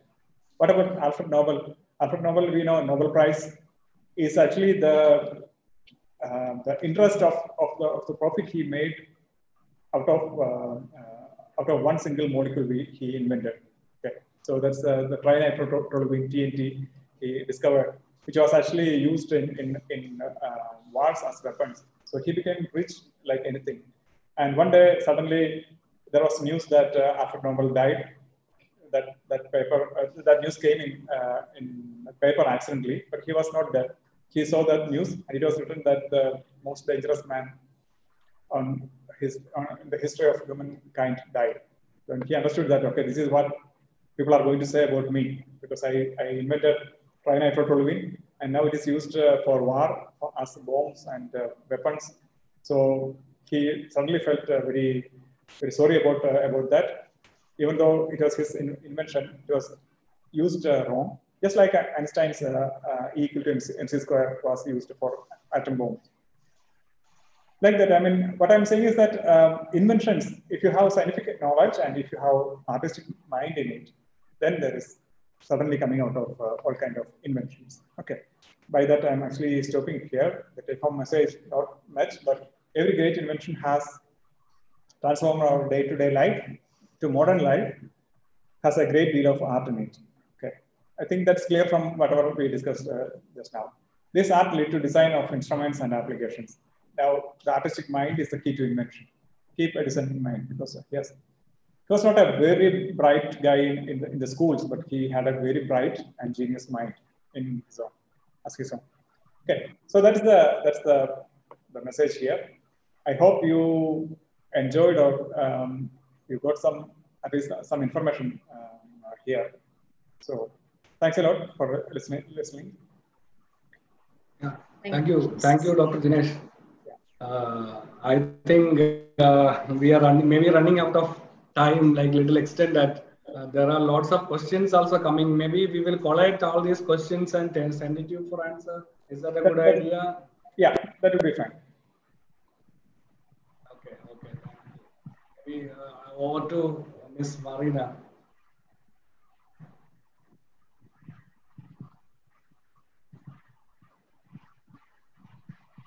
Thank you, Jinesh, doctor.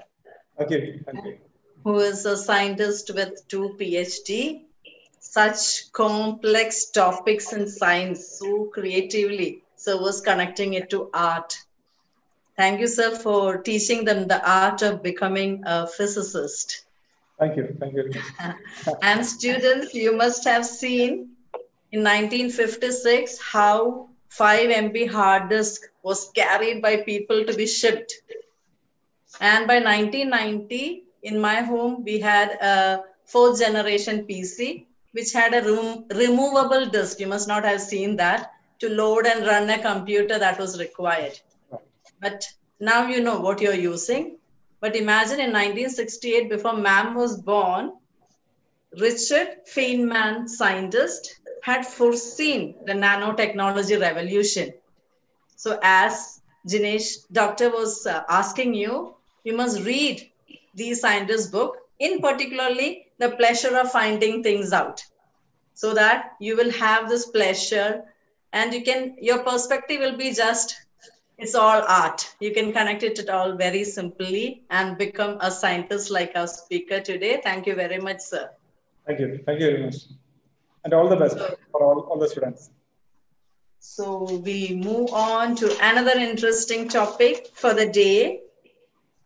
The topic is Earth's moon, origin, evolution, and significant discoveries from India's Chandrayaan missions.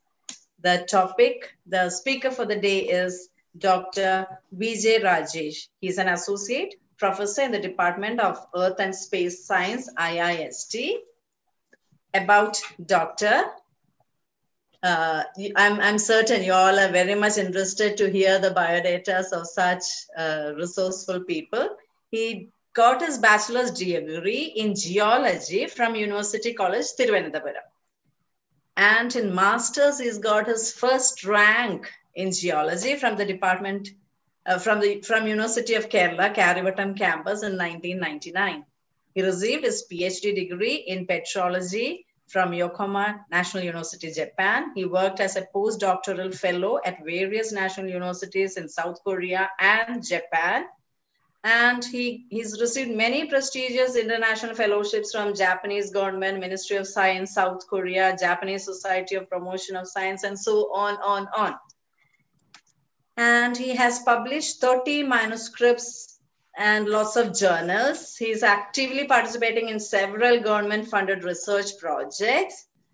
And at last, you must have heard about encyclopedias. You must have read encyclopedias. But Sir has written or published two chapters in Encyclopedia of Lunar Science. Uh, and the name of the chapters are Lunar Crust Chemical Composition and Lunar Crust Morphology. Welcome, sir, to address my students. Thank you, Marina. Uh, good afternoon, all of you. So, first of all, I would like to thank IIST and Sargakshetra for arranging such a wonderful program for young minds, okay, listening this particular program. So, for the past five days, you have been watching various lectures on space sciences and technology. Okay, so starting from our director, register, and okay, so we have been introduced various fields of uh, space science and technology. Okay, so you had talks on like uh, climate science, then uh, uh physics, okay, then uh, uh, other branches of space, economics, space, life, etc. Okay, so today I'm going to introduce another exciting aspect of space exploration, that is the planetary geology or planetary geoscience. Okay, so we know that like a moon is a late natural satellite of our Earth okay and it is of the neighboring object of our earth also so today using some of the fundamental concepts of geology applicable on earth okay so i will try to uh, explain the various processes okay which led to the formation of our earth's moon its evolution and also the significant findings from our own chandrayaan missions okay. So we had chandrayaan 1 we had chandrayaan 2 also okay. So that's a, a brief outline of my talk. Now i'll share my screen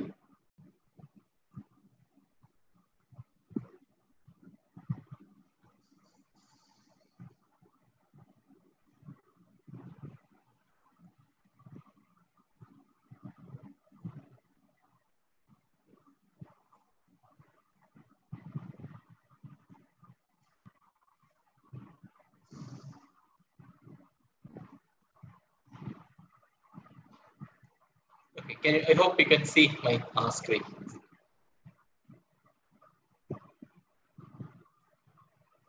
Hello. Yes, yes, sir. Yes, sir. Yeah. Okay. Yes, okay. Thank you. Okay. So the title of my today's talk is Earth's Moon, its origin, evolution, and significant discoveries from India's Chandrayaan missions. Okay, so as mentioned to you previously, so I am going to introduce a new branch of uh, space exploration that is the planetary geoscience or the planetary geology. Hope all of you know about geology. So it is mainly deals with the study of rock formation, mineral formation, then internal structure of our Earth. Okay, so various other processes like volcanism, tectonics, etc. Okay, so and using those concepts, okay, so we can try to understand the formation of our uh, terrestrial planets, then some of the satellites of terrestrial planets and the Jovian planets also. Okay, so uh, using this particular branch, like we can have like a lot of evidences for the presence of past life on Mars. I am just saying evidences, it doesn't mean that life is confirmed in the case of Mars. Okay, so we can also use this branch to understand the habitable environments on other planets also. Okay, the areas of interest are like we'll be looking for the surface features, then various minerals present over Moon, Mars, or other terrestrial planets, then interior structure, tectonic aspects, planetary volcanism, and it has lot of applications on astrobiology also, which is one among the emerging field in planetary sciences. Okay, so now let us go to the moon. Okay, so today I'm going to discuss about, have you ever thought of like how our moon has been formed? Okay, so on a bright night sky, you can see full moon. And you can see like a lot of features like this. Here, you can notice that two different views of moon are there. You can also notice that there are like brighter and darker regions are there. Lot of impact craters are there. Okay, then uh, significant finding of water on moon and India's contributions to lunar science. I will come back to this diagram later, okay, because initially I want to introduce some fundamental concepts of geology. Now, we all know that yesterday Dr. Jagadeep also mentioned about like various planets and various other bodies in our universe. Okay? So if you're taking our solar system, we have two groups of planets. Of course, there is another group also that is the dwarf planets. Okay, so broadly we can group them into terrestrial and Jovian planets. Okay, the terrestrial planets, they are known as the Earth-like planets and they are close to our sun. Okay, it is also known as rocky planets because it is mainly made up of uh, silicates, metals, etc. Okay, then in the case of Jovian planets, they are Jupiter-like planets and they are far from sun. Because of that, it's known as the outer planets. They are made up of like uh, uh, gaseous phases and icy materials also. So here the ice means it is not only water ice, you can have ice of varying composition of these planets. Okay, so one of the way to understand what a planet is made up of. Okay, so we can see the density of these planets. So if you are taking the terrestrial planets, you can uh, notice that the density of terrestrial planets are quite high, okay, when compared to the Jovian planets. You look at the density of Saturn, it is approximately 0.69 gram per centimeter cube. So this indicates that like uh, these are made up of extremely lighter materials. Okay, so if you're taking that uh, Jovian planets, only towards its core part, it has some metallic components. Okay, but if you're taking the terrestrial planets, you can notice that okay they are having higher density okay. it indicates that it is made up of like uh, dense materials like silicates then metallic phases are there etc and our moon is having a density of 3.3 gram per centimeter cube now, uh, you know that at the uh, initial stages of a planet formation, okay, so it's a hot molten body. So at that time, like a lot of heat sources were there to keep the planet as a hot molten body. So let us discuss about the various heat sources. So those input the accretion, that is at the time of the formation of the planet. That is that many materials came coalesced, it leads to the formation of a planet. Okay, so that is known as the accretionary heat. Then impactor. Okay, so immediately after the formation of a planet, it was continuously, especially towards the earlier stages of the solar system evolution, it was continuously bombarded with like a lot of impactors. So it also generated a heat to the planet. Then with the process of time, what will happen? The planets will separate or segregate into different regions like crust, mantle, and core. So that particular process is known as differentiation and it can also impart heat. If you're having radioactive heat producing elements like uranium and thorium, okay, so radioactive decay will take place and that can also give, provide heat to a particular planet. So these are all the various sources of heat. With course of time, what will happen? The planet will cool off. So same as the various heat sources, there are various ways in which a planet can cool off, also, which include convection, which take place in a microscopic level, and convection, okay, which is in a macroscopic level, and eruptions also. Okay, so eruption means towards the deeper part, it will be hot. Once that hot magma comes out, what will happen? That towards that deeper part, that much volume of heat will be released, it will cool off. Okay, and outside we will have formation of volcano, etc. Then another important aspect is that if the planet is large, it will take a longer time to cool off. Let us take uh, the example of our Earth and say Mars or Moon. Okay, so Earth still we are having approximately 20 percentage of internal heat remaining. Okay, so that's why we are having processes like earthquakes, volcanism, plate tectonics, etc. But if you are taking Moon or Mars, we are not hearing anything about that recent volcanic activity. So that is mainly due to the role of internal heat. So in the case of Moon, Mars, since it's a smaller body, there is no more internal heat remaining. Okay, so that is the concept over here.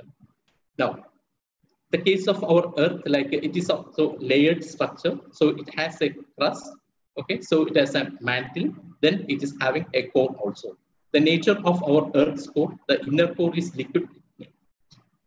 Sorry, we have two different layers of our core. Okay, so we have a liquid core and we have that inner core which is uh, solid in nature. Then another important aspect is here we have a lithosphere that is the solid component of our Earth, and below that we are having asthenosphere. It actually forms the part of the mantle also, part of the lithosphere, and the asthenosphere, remaining part of this mesosphere. It forms the mantle part. Okay, so asthenosphere is plastically molten, and the lithosphere, which is a solid body, lying above the asthenosphere. Okay, so if any heat is receiving to asthenosphere from deeper region, what will happen? Since it is a plastic or partially molten region, it can trigger the movement of lithosphere. So the lithosphere is known as our plates. Okay, the plates are otherwise known as lithosphere. And if the lithosphere is moving, what will happen? We will have plate motions or plate movements. Though the plates can come close to each other, the plates can diverge or go away from each other or we can have sideways type of movements also. So depending upon different types of plate movements, we can have different types of geological process also. So the most important aspect here is that the, we have a layered structure like crust, mantle, and core. Now, we are calling the terrestrial planets as Earth-like structures. Okay, so you can notice that like uh, the Earth is having a layered structure. So if you are taking Venus, Mars, Mercury, and Moon, okay, you can notice a similar type of structure is there. So you look at the uh, density, hope you remember the density value of Earth and Mercury. They are more or less same. Earth is having slightly higher value. What is the reason for that? Look at the Mercury. The core is approximately 75% of the internal structure of Mercury is occupied by its core, which is made up of iron and nickel. Okay, the crust and mantle part is smaller. Because of that, its the density is quite high, more or less comparable to our Earth's density also the here another important aspect is that the core is made up of heavier metals like iron, nickel with some amount of sulfur. If you are moving towards the mantle, again it is made up of elements like iron, magnesium with the minor amounts of nickel. And if you are moving towards the crustal part, it is entirely made up of lighter materials. Okay, so that is the compositional variation between the crust, mantle, and core. So applying what we have learned about our Earth's interior, we can use those concepts to understand the geological processes, origin, evolution, etc. of all other planets. Now, after the formation of planets, we discussed about the various heat sources and cooling took place. And once that uh, internal heat is not there, what will happen? We will not have volcanism or tectonics. Okay, so there are various processes. Sorry. There are various processes which can shape up the planetary surface after its formation. So broadly, we can group those processes into exogenic and endogenic processes. So exogenic means the processes are externally uh, derived or externally triggered. Endogenic means that internally derived processes. So here we have volcanism and tectonics as that internally derived processes and the impact cratering and erosion. And erosional activities like by water, wind, and ice. Okay, so they can act as exogenic processes. Though I mentioned here as erosional activities, it includes like a weathering, erosion, transportation, and deposition. So in the case of our Earth, we have a very thick atmosphere and we have agents like water, wind, and ice are there. They will continuously come and interact with our Earth's surface. Modification will take place. Okay, so because of that, our Earth's surface is always younger when compared to Moon or Mars. Okay, so these are the various processes. Now, before going further, we should have some idea about what are the various minerals and rocks.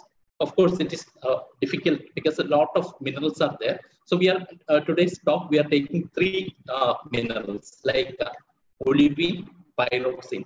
Okay, so uh, now onwards, like I will use those minerals as magnesium and iron bearing minerals and for lunar purpose. Okay, so I need this particular mineral also, that is the calcium aluminum rich mineral. Okay, so you can see the color of these three minerals. Okay, olivine and pyroxene, they are made up of magnesium iron. Okay, so because of that, they are having darker color and they are denser also. Now coming to feldspar, it is made up of calcium aluminum silicate. Okay, because of that, it is lighter in color and it is less dense, okay, or it is lighter. Okay. Now, so we have two groups of minerals like mafic, which means that magnesium, iron, and calcium dominated, which is always darker in color. Then felsic, we have like silica, aluminum, sodium, and potassium dominated. When these minerals combine, we will have formation of rocks. Okay, so n number of rocks are there. We're not going into details of that one. Another important aspect is uh, here, like a lot of experimental studies have conducted to understand the formation of various minerals. Okay, so of which like we are today going to discuss about these two minerals like olivine and a co-crystallization of calcium-rich mineral also. Okay, so this is of lighter in nature or less dense and these are of heavier dense. So please keep these things in your mind because it is useful to understand the geology of our Earth's more. Okay, so now let us see how the plate tectonic processes are operating on our Earth. Okay, so you can see that heat is coming from deeper side. What is happening? Like uh, here, it is coming and interacting with the lithosphere. Movement of that lithospheric plates are taking place. Okay, so here what is happening? The plates are diverging and here the plates are converging. Two plates collide and one plate is going towards the deeper side. Okay, the plate which is going to the deeper side, what will happen? It is going to a region having high pressure and high temperature region. So it will again melt and it will come out in the formation of come out as volcanoes. Okay, see here. Here the densest place is going towards the deeper side. Okay, and it is reaching up to a region of high pressure and high temperature condition. Melting is taking place here.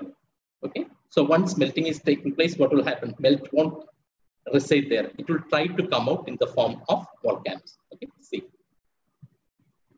Okay, so these are the ways in which the formation of our Filipina, Japanese island, etc. has been formed. Okay, so this is the plate tectonic concept. You can see our Earth's moon also here. Okay, but in the case of other planets, we consider it as a single plate body. Okay, so these type of plate tectonic processes were not operated on other planets, but intraplate or internal plate processes were there. That is why like volcanism or Mars. So volcanism, tectonics, etc. were there towards the earlier stages of these planets. Okay, now coming to tectonics, we can have like a compression type of tectonics and extension type of tectonics are also there. So if you have compression or collision type of tectonics, we can have formation of folded mountain chains. The best example is our Himalayas. Okay, now if extension type of tectonic settings are there, what will happen? We can have formation of depression type of features. They are known as the valleys. Okay, so now in the case of moon, like uh, the role of say water, then wind, ice are minimum. So I'm not going to discuss details of that one. But if you're going towards the Mars, the wind and ice activities are still taking place on Mars. Okay. So these can cause erosional activities and continuous modifications to the surface can take place due to wind, water, and ice. Okay, now another important aspect, as I told you previously, immediately after the formation of planet, what will happen? It will be continuously bombarded with impact craters. So impact craters has a significant role in shaping up of the planetary surface. So let us see one animation here. See, impact hit the planetary surface, excavation took place. Okay, so what is happening? The material from deeper side came to this particular region. Okay, so we have like two types of impact craters are there. A simple crater, which means that a simple bowl-shaped structure is there.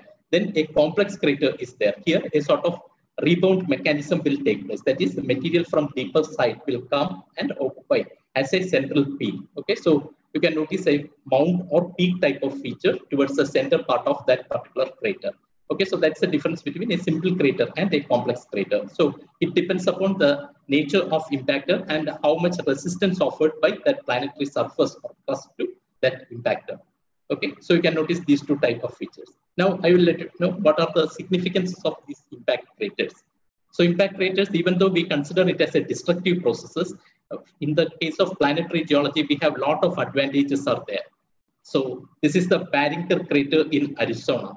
Okay, so you can notice the surface over here, and you can notice that impact crater also. See what are the features you can observe over here. If you're looking at this particular region, we cannot see the deeper part of a particular planet or particular body. But if impact craters are there, it will expose the deeper part.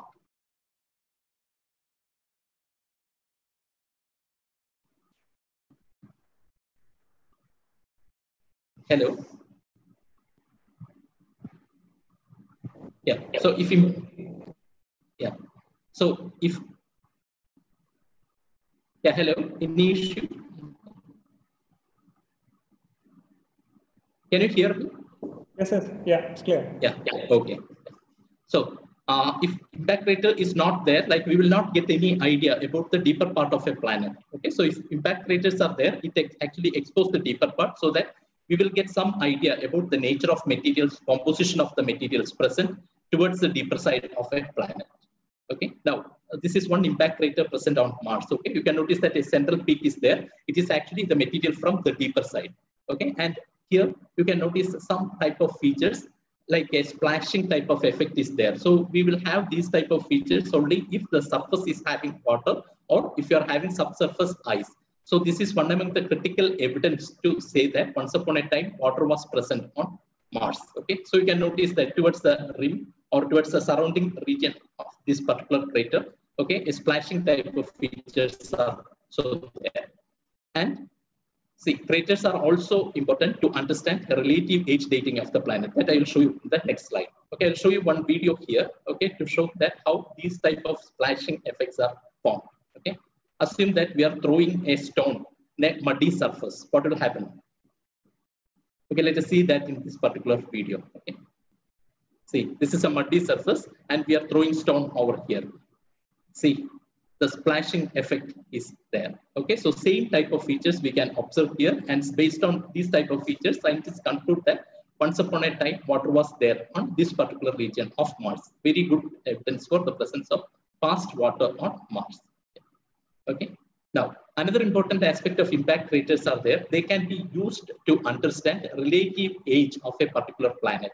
Let us take example of our older roads and younger smooth roads. See the conditions of the older roads. We can see that large number of gutters or potholes are there in these older roads and the younger roads. Okay, so we know that this is like a relatively new, newly laid road. Okay, and here these are the old roads with large number of craters. Again, the same concept we can apply over here also. Okay.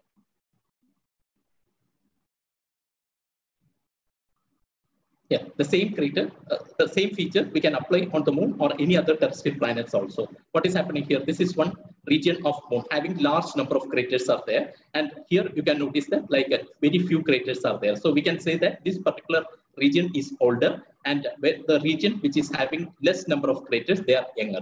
So here you can notice that large number of craters are there. We can clearly say that this particular region is older nature. The same concept we can apply to Mars, Moon, Venus, Mercury, etc.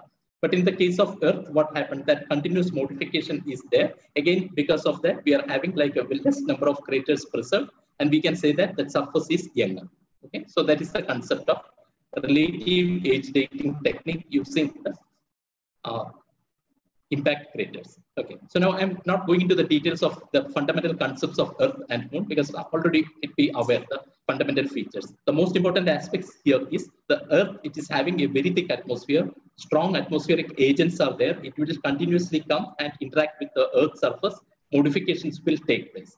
In the case of Moon, there is a the first answer will be no atmosphere, but there is a very thin atmosphere on Moon, but it does not have much role on the superficial processes of Moon okay and also there is no liquid water on the moon but uh, there are reports of ice at the polar regions in the permanently shadowed regions of the moon. We will come back to this aspect later. Now what are the ways in which like we can study our earth's moon?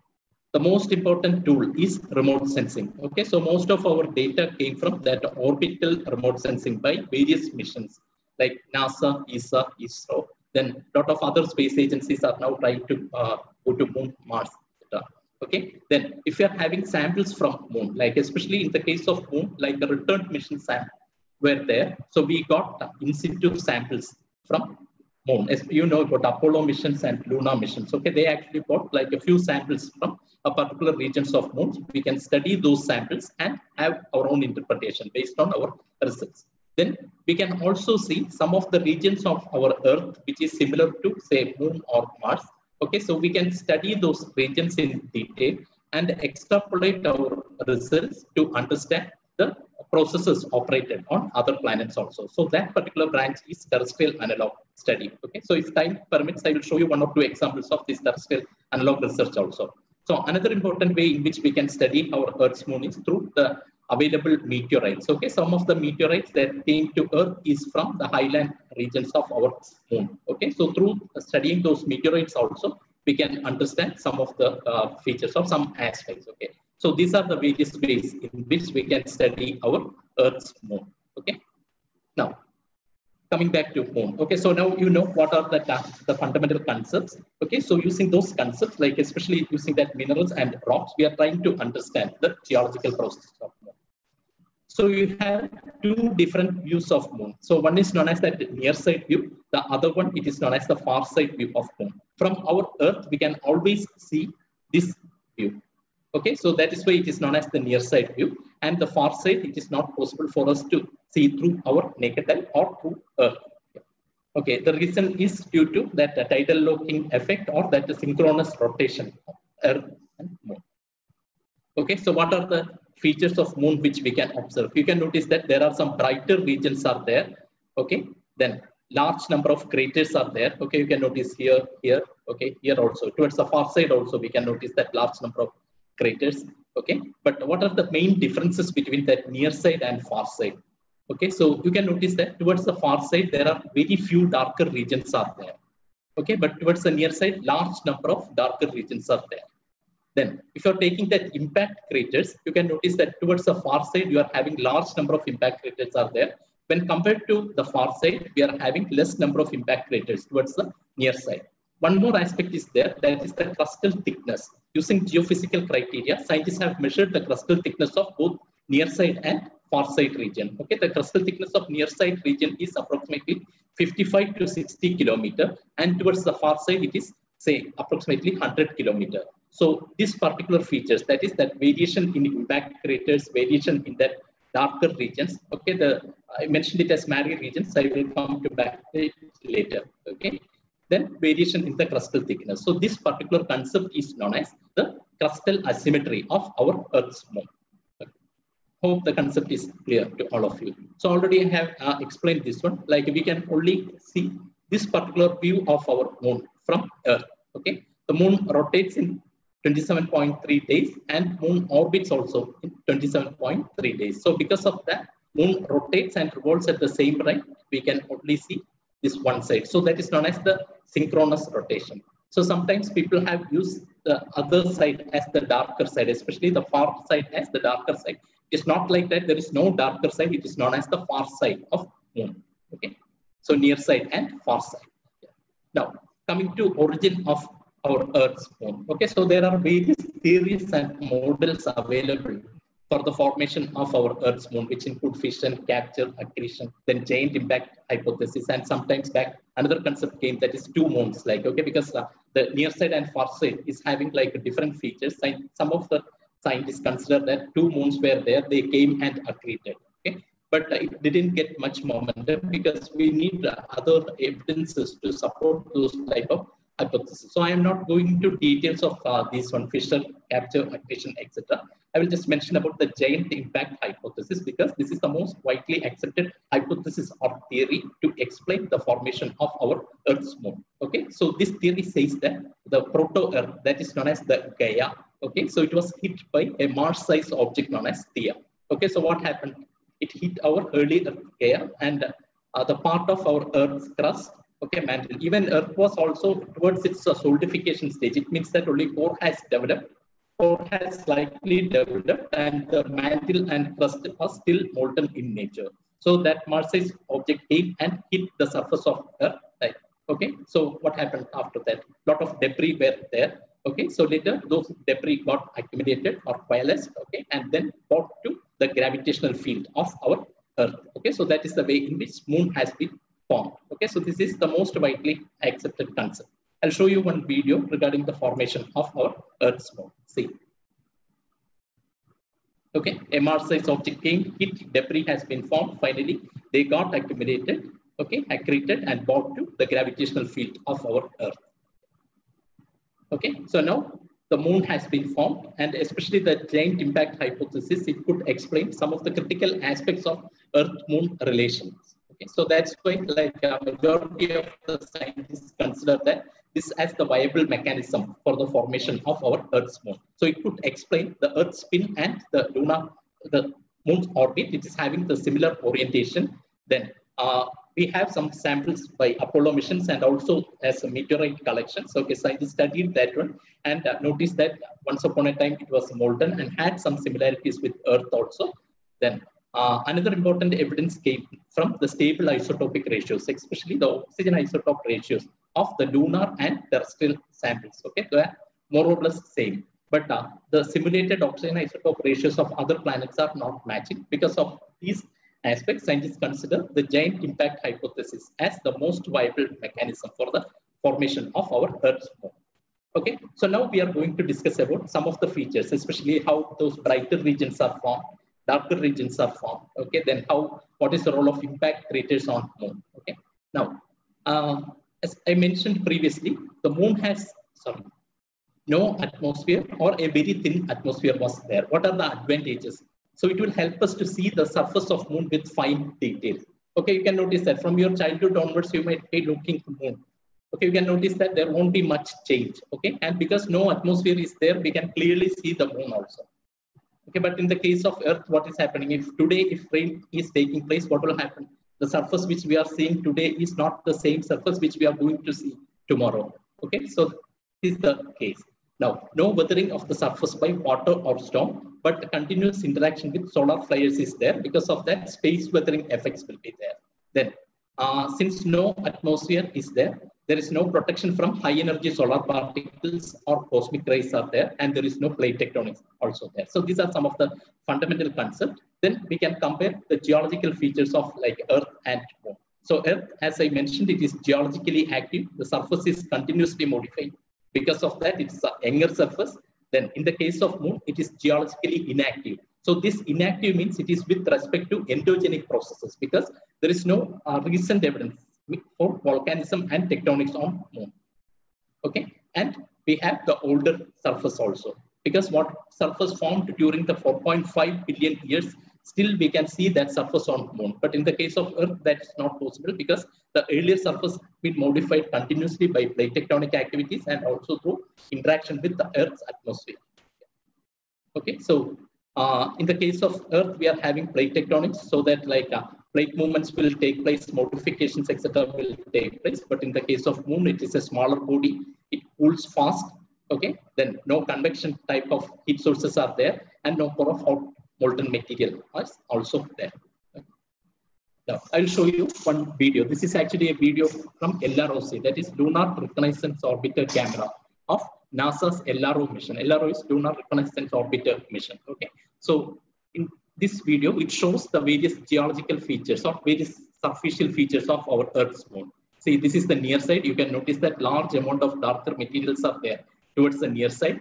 And you can notice that far side region. See, large number of craters are there and very less darker regions are there towards the far side region.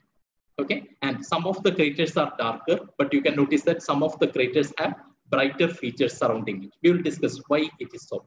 Okay, so you can notice that some craters are darker in nature, some are showing that brighter features over there. Okay. Yeah.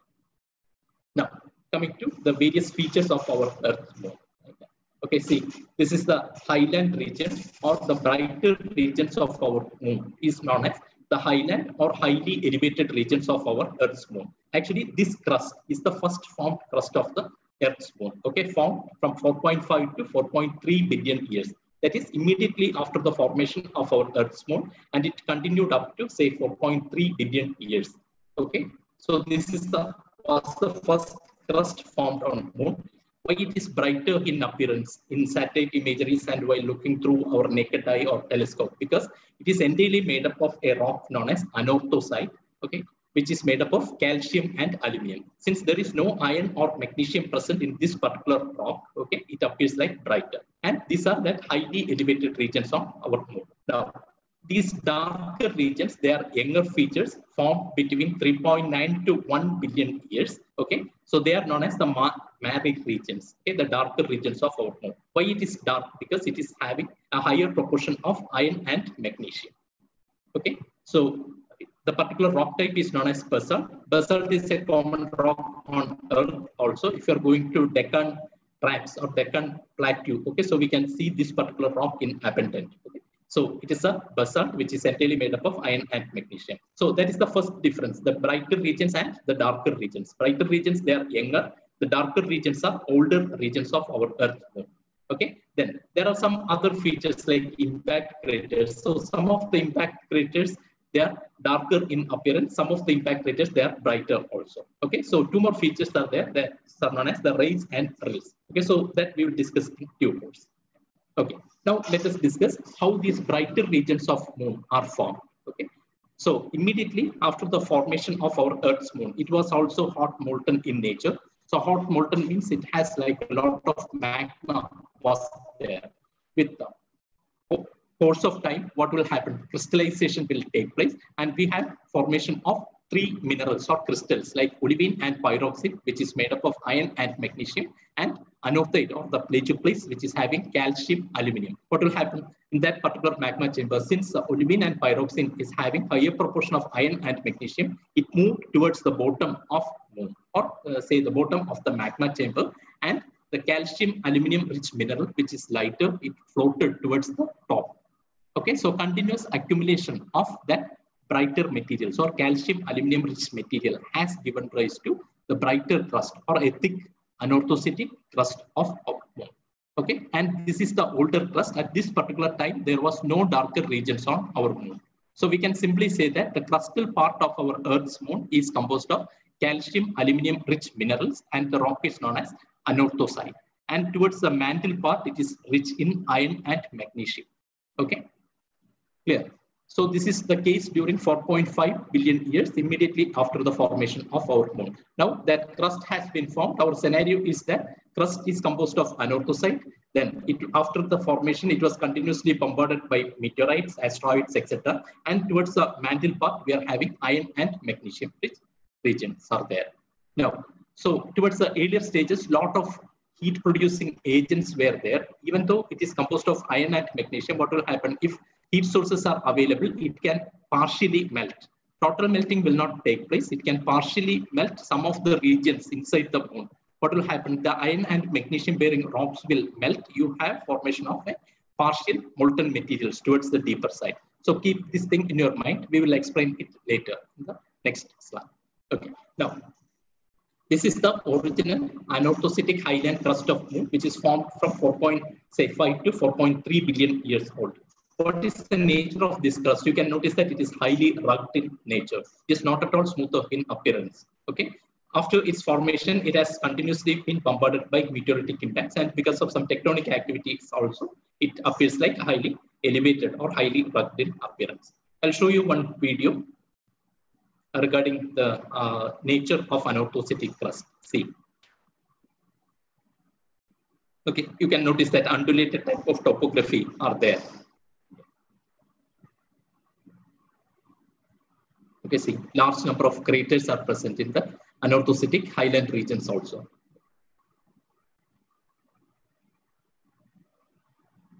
This is a far side, entirely composed of anorthosite with the less darker materials, and this is the near side. Okay.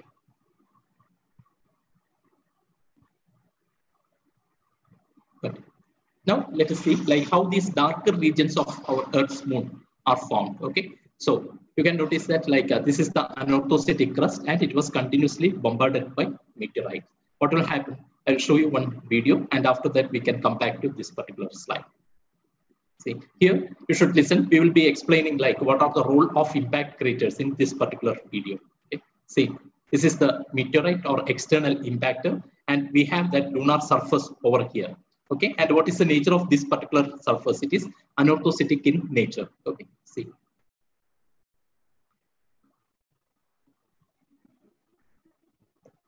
Okay, so the impact crater has been formed over here. Okay, and this is known as the primary crater because it is formed due to external impactor. And what happened to the materials over here?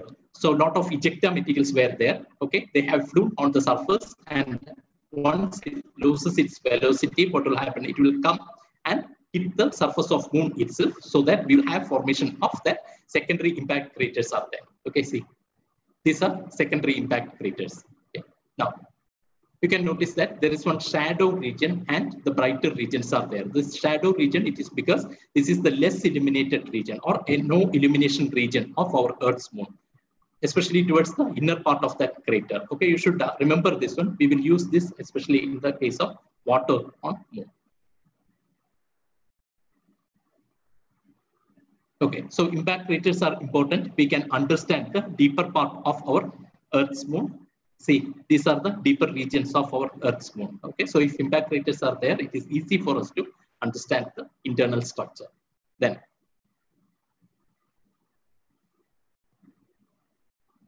see, previously I mentioned that there are rays are there. You can notice that some of the craters over here, they are like uh, darker in appearance and some of the craters you can notice that brighter features are there. So this is not due to compositional aspect, this is due to albedo effect, okay? So if you are having that brighter region surrounding a crater, we can say that this particular crater is younger when compared to those darker craters. Because with course of time, what will happen, this will continuously interact with the solar flares and that freshness will go. Okay, so this will also change to darker region, darker features like now you can notice that like uh, brighter features are there, which indicates that these are younger craters. Okay, so these type of craters are known as the rayed craters.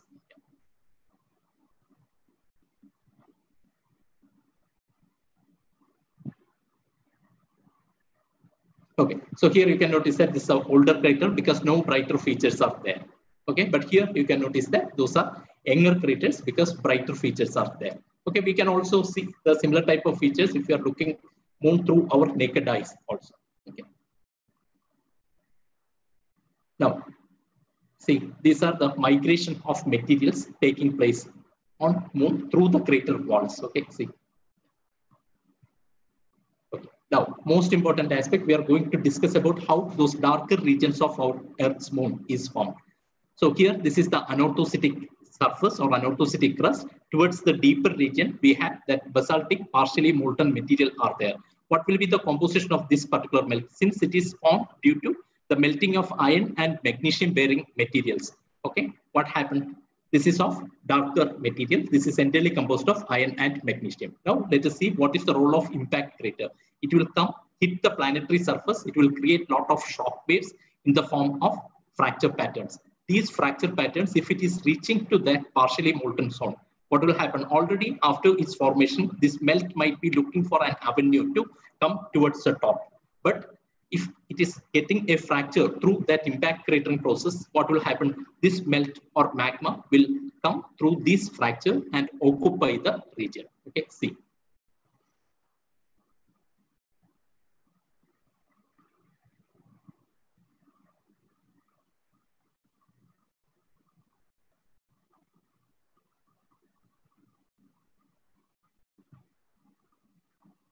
See, the impactors are coming and hitting the anorthositic crust. Okay. Now you can notice that the, all these craters will be occupied by that molten material. See.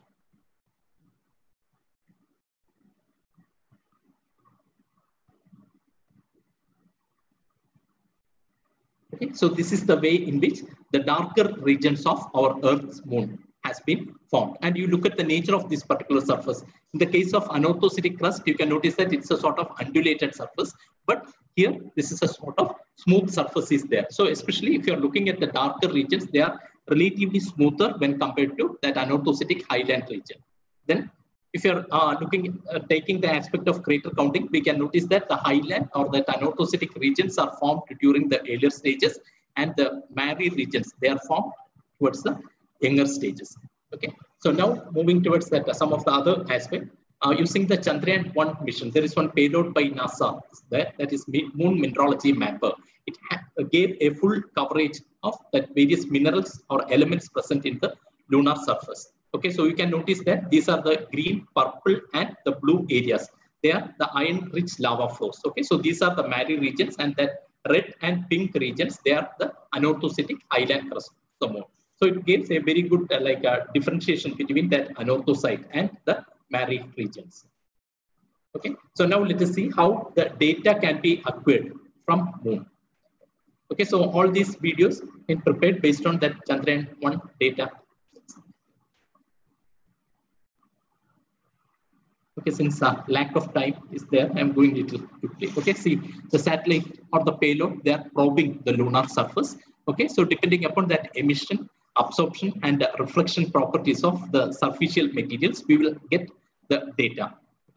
So here I'm showing you that one hyperspectral imager present in the Chandrayaan 1. So it is having 80 meter resolution, uh, 64 bands, spectral bands were there. Okay, so it is continuously probing the lunar surface. Okay, see.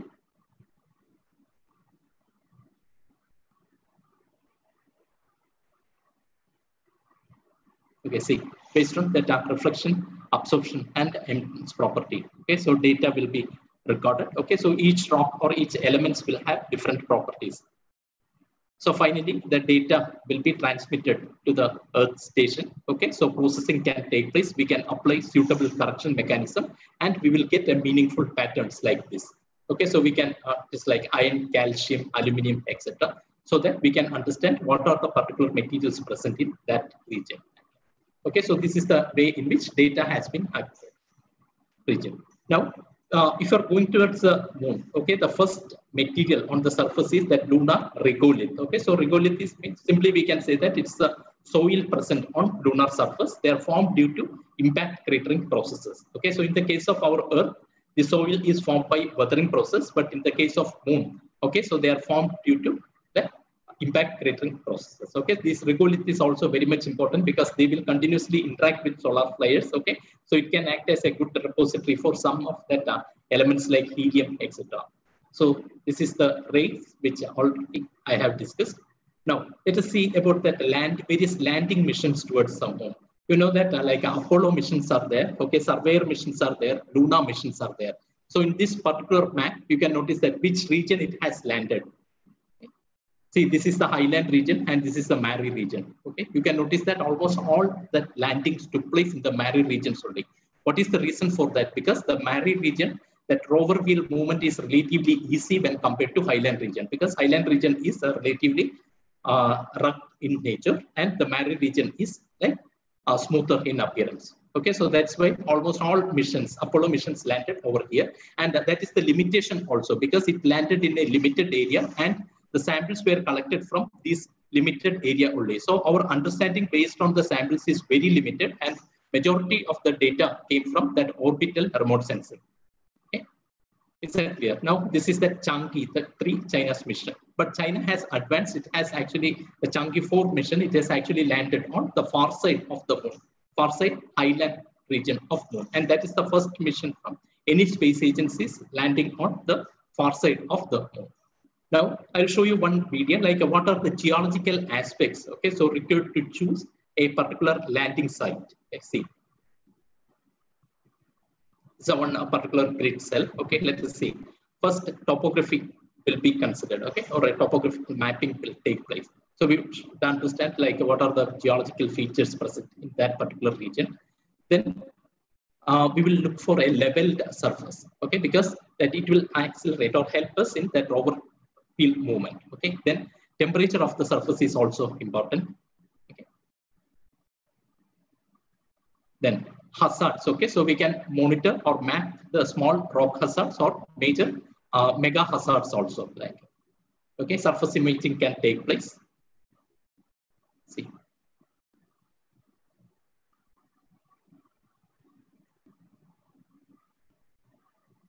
And finally, see that the large rock hazards are there. Okay, so considering all these aspects, like uh, a scientist can fix like a, which is a suitable area for landing. You can notice that based on all these aspects, scientists have fixed that this green region is or green shaded region is suitable for landing. Okay, so this is a geological criteria. Of course, there are other criteria also, but uh, geological criteria. Okay, so now let us see some of the samples brought by Apollo missions. Okay, you can notice that the anorthosite, some which are like a brighter in appearance, okay, but it is sticked with that Mare material is also there. And this is the Mare basalt. You can notice that a lot of gaseous uh, pits are there. Okay, so that can be either due to escapement of gaseous phases or due to impact by micro meteorites. Okay, then some clasts are also there. These are like a representative samples from Apollo missions. So these are the important features of our Earth moon. Okay, so now I will quickly go through our uh, important missions. Okay, so we had Chandrayaan 1 mission and the Chandrayaan 2 mission also. So the Chandrayaan 1 mission, which is our first uh, Indian planetary mission to moon, which has been launched on 22nd October. Okay, so it has uh, payloads from India and the payloads from various other space agencies are also there. So the important aspects, it uh, tries to understand the key questions on lunar geology or lunar science like origin of moon, understanding the early history and the evolution. Then what are the various resources available on our Earth's moon? Okay, so a lot of payloads were there in that one. Okay, then uh, what are the significant scientific achievements? Probably you might have read that the significant achievement from the Chandrayaan 1 mission is the finding of water. Actually, that is the significant achievement from our Chandrayaan 1 mission. Then it has also identified some of the new minerals on moon or new rocks like magnesium aluminum spinel bearing rocks okay? Then uh, some complex craters has been identified and detected. Then dome type of volcanoes has been identified. And also the important detection of water polar ice. I'll quickly go through what are the various payloads present in the chandrayaan 1 okay? So i'm not going to all these payloads like uh, so here you can notice that tmc that is terrain mapping camera to map the lunar surface then HySI, that is hyperspectral imager, that is to understand the various minerals and volatiles present in the lunar surface. Then M-cube is actually the moon mineralogy mapper. You have seen one image from that M-cube. Okay, then moon impact probe is also there. Then Mini-SAR, etc. Okay, so we are going to discuss about some of the results from M-cube, TMC, and HySI. Okay, so 11 scientific yeah, instruments were present there. Okay, now before going to that significant finding of water on moon, how, where, and why water are there. Okay, so there are two different sources of water, which includes that the exogenic sources and endogenic sources. Okay, so I'm not going to the details of endogenic sources because this is also endogenic source of water has also been confirmed by our Chandrayaan 1 mission. Okay, so we can focus on that exogenic sources. So what are those materials? Those are the lunar ice present in the permanently shadowed regions of our moon okay? And why it is preserved? It is because of that poor elimination condition. So we will discuss this aspect with bit details so, okay? So what are the i'm sorry i'm going a little bit quickly. Okay? So what are the various possible sources of our polar tiles okay? So it includes the solar wind the moon itself. I will explain this later. Okay? Then giant molecular clouds interplanetary dust particles are there asteroids comets etc it will come and hit the surface of our earth's moon Okay, now this is one M-cube map for the water molecules present on the moon. You can notice that towards the polar side, northern and southern poles, blue colored regions are there. So those blue colored regions are indicative of the presence of water molecules. Okay, especially you can notice that that polar regions, both southern and northern poles, have higher abundance of water. Okay, so water ice has been identified from this region. Now, how they have identified. Okay, so let us again come back to the crater. So this is one crater, that is the Shoemaker crater. Okay, so you can notice that another crater, that is the Shackleton crater, and uh, this is another crater, that is Erlanger. So here you can notice that only a less area is illuminated. Okay, towards the floor region or towards the internal region, it is less illuminated. So what will happen towards the earlier stage if comets or like uh, say water bearing asteroids etc it came and deposited water ice on these regions. Like it will be permanently preserved over there because sunlight won't reach there. Melting will not take place. It can be preserved as such uh, with some modifications. That is if uh, like uh, micrometeorite impactors are there some modifications will take place towards this particular region. Okay, so let us, this is one example. Okay, in whichever the sun is there, the uh, floor and towards the internal part of this crater won't receive the sunlight. Only the rim part will receive the sunlight. Okay, so recently uh, scientists have mapped the permanently shadowed regions on our Earth's moon.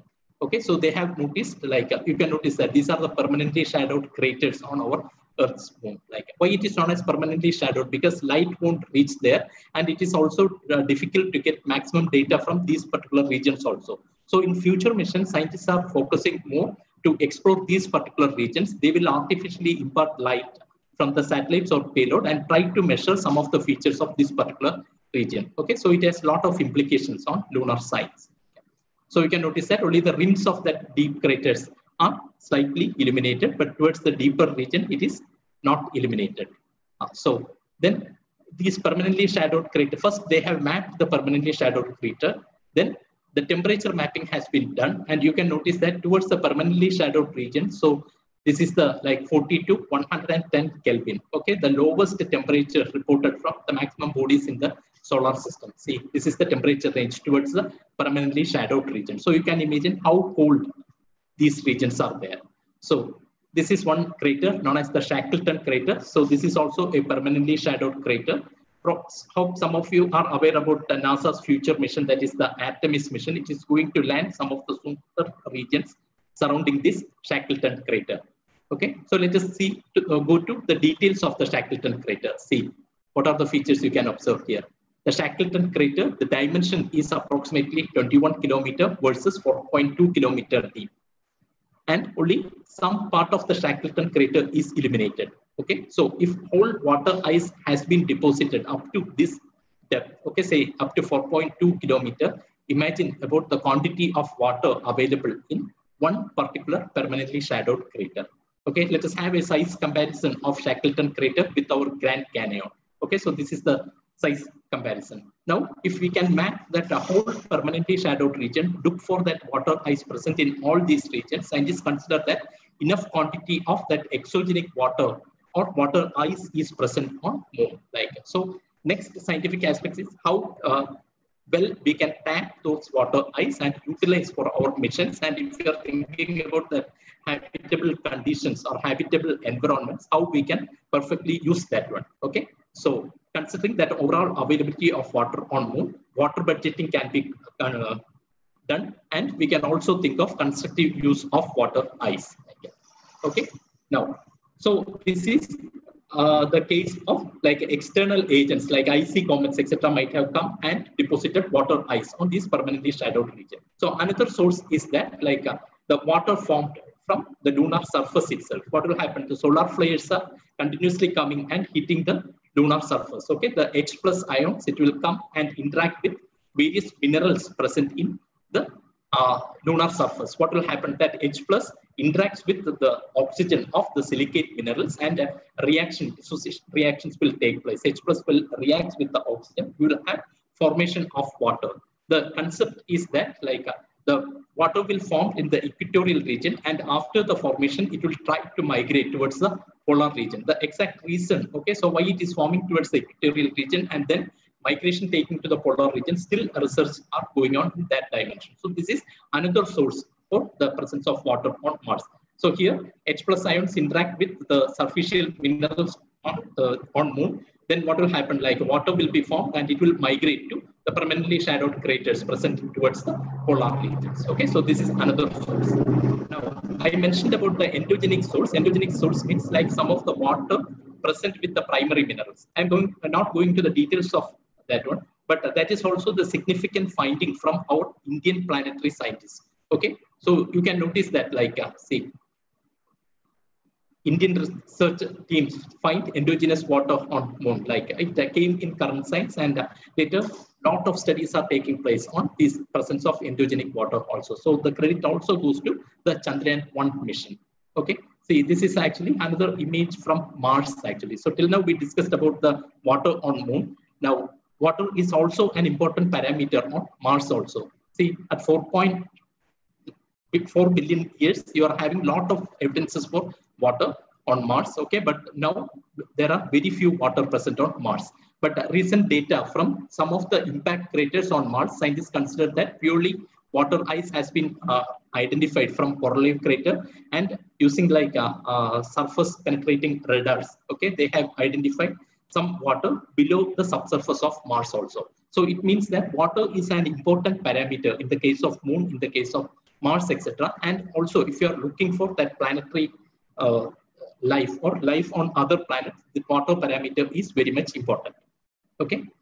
Now let us move to some other uh, findings from Chandrayaan-1. Okay, this is one lava flow type of feature present on the moon. Okay, so this is actually identified from the Chandrayaan-1 image.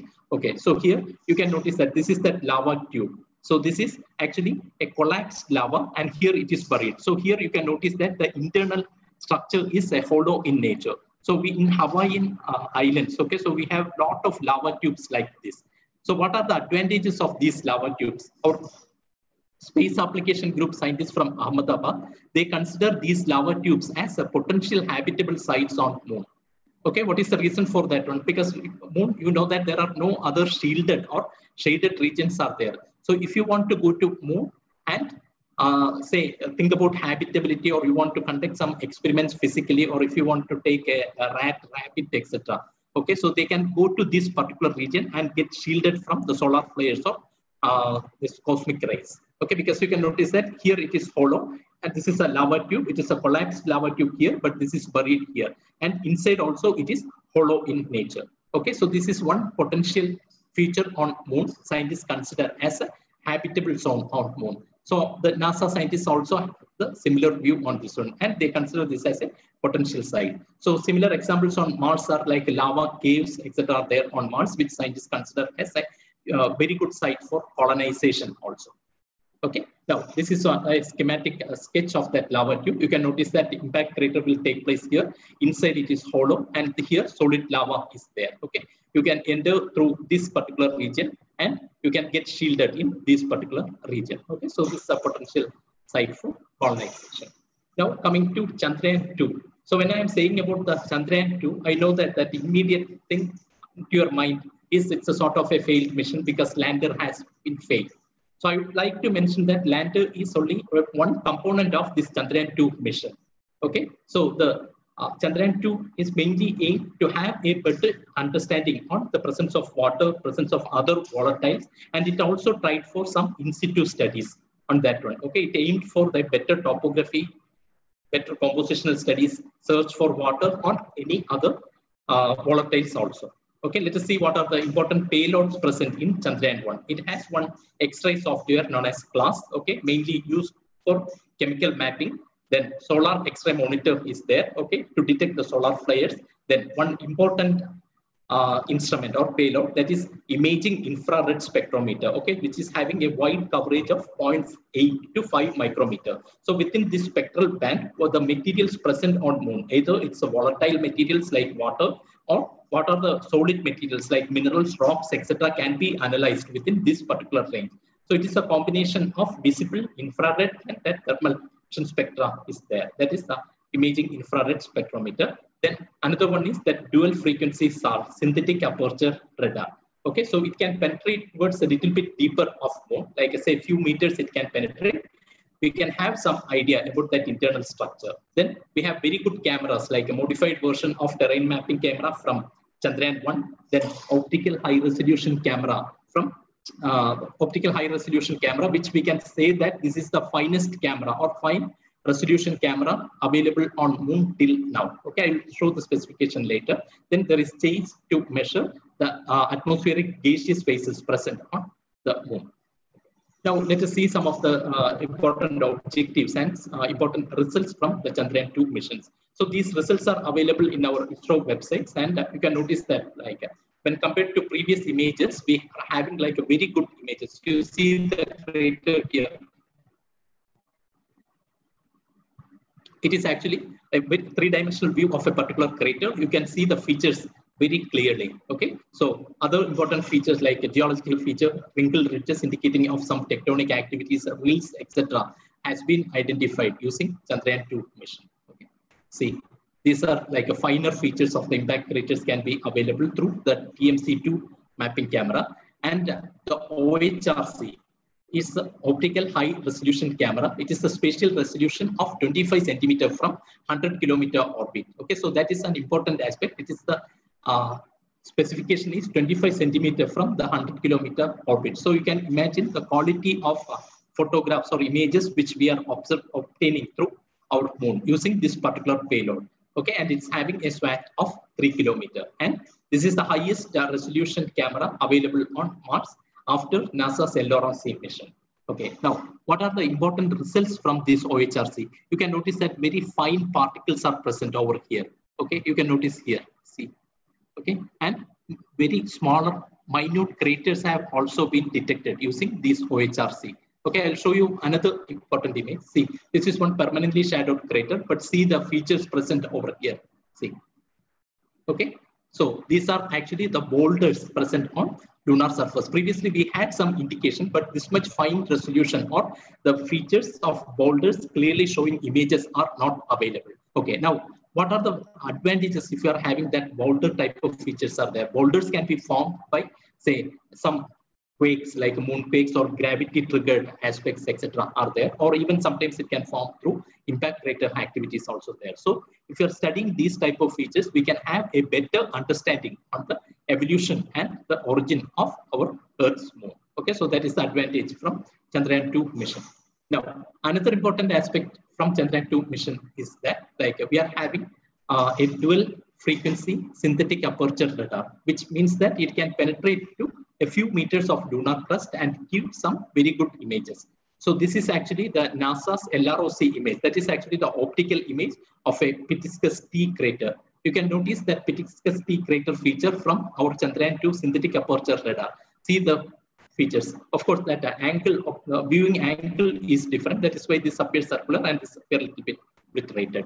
Okay, so you can notice like here the features are like minimum, but here you can notice that the uh, crater features, crater wall, internal structure, crater fort, etc. are well preserved and well observed through this uh, dual frequency SAR uh, payload. Okay, so important aspect here is that here what is happening like because of that regolith space weathering aspect, some of the features are hidden here. So if you can penetrate and take measurements towards the deeper side, we will get a better understanding of what are the materials present over here and it will help us to predict the processes in much finer detail. Okay, you can see this is also from this is uh, the synthetic aperture radar image from Chandrayaan 2 and this is the optical image from the NASA. Okay, see. So I am not saying that NASA's images are not good because we are having these are the uh, images from two different cameras, two different instruments. Okay, so this is having its own advantages and disadvantages. We are also having advantages and disadvantages are there. Now let us take one this particular crater. Crater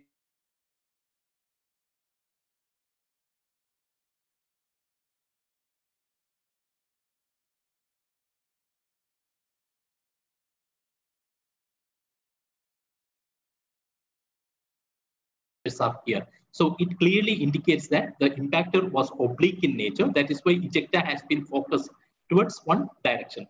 Now, let us take another example. You look at the uh, these two craters. Okay, so this is the crater formed due to vertical impact. See the feature over here. Okay, you cannot see that the surrounding ejecta blankets or ejecta materials over here. Okay, but uh, this one through Chandrayaan 2 payload. Okay, so we can notice that surface features clearly. Then ejecta materials also. So what are those ejecta materials? Those are actually materials from the surface and deeper part of the planet. So if you are measuring those subjects, we will have a better idea about the deeper parts and the deeper processes. Okay, operated on any planetary surface. So these are the important, of course, a lot of other results are coming. These are some of the preliminary results from Chandrayaan 2, which is available in our ISRO website. And we are aiming for a lot of other interesting scientific results also. Then when com coming to atmospheric studies also, Chandrayaan 2 using its uh, CHACE 2 payload. Okay, so it has measured argon in the lunar exosphere. Okay, so that is also significant finding. And from IIRS, like we are eagerly waiting for significant results on water, other volatiles present on moon and other minerals present on the moon also. So we are actually awaiting the results from these type of missions. Okay. So these are the significant finding from Chandrayaan 2 missions. Okay. So now moving to the Chang'e mission, I'm not going to the details, but the advantage of the Chang'e mission is that it is the first mission from any space agencies which landed on the highland region and that is also towards the far side region of moon and they also gave very good uh, results on the geology of that particular moon so towards the uh, future mission scientists should look on like these type of aspects then in situ sampling etc also there. Then this Chang'e formation has a module okay to test that life related activities on moon. Okay so they have a simulated capsule okay having some of the seeds of cotton and some other seeds are there and they got some indications. You can see this particular video see. The cotton seeds it have been sprouted on that simulated lunar capsule okay and it is the first biological matter to be grown on the moon so they got signals for uh, a week, seven days, and after that there was no signals there. But it is a stepping stone towards that life-related or astrobiological experiments on our Earth's moon. Okay. It has other seeds also, fruit fly, uh, pupae, etc. Right. Okay. And the signals they got, the cotton seeds it's sprouting up. See, laying a foundation for astrobiological studies on moon. Yeah. Okay. Now, okay. Now, why we are studying moon like that? So why it is important?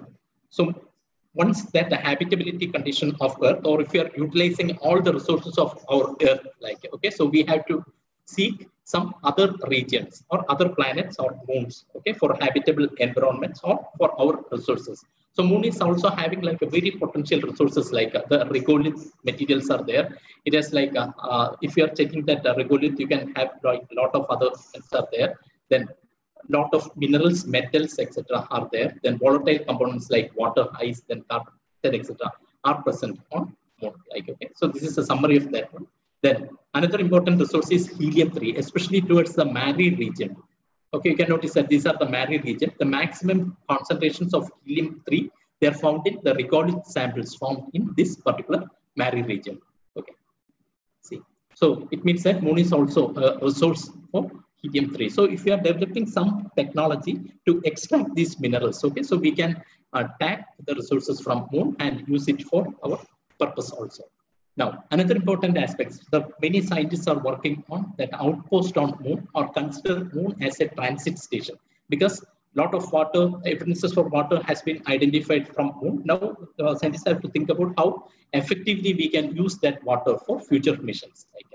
So a proposal is there from NASA and ESA to consider as moon as a precursor for Mars-related uh, exp experiments or expeditions. Okay, consider moon as a transit region.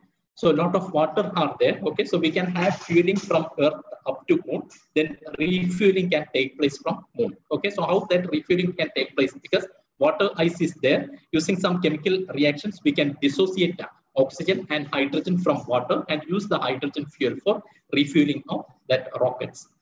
Okay, so that is a concept and uh, many scientists are working on these dimensions also. Okay, so that is one aspect. If uh, that on the way to Mars, okay, consider moon as a transit station. Okay, so technology demonstration will take place. Lot of scientific experiments can be conducted, etc. can be done. Okay, so these are the advantages. Now coming to future missions like uh, NASA's Artemis mission is coming up. That is actually a manned mission. Okay, they have selected one woman and one man. Okay, to go to moon by 2024. Okay, so it will definitely open a new era for manned exploration, especially in this particular decade.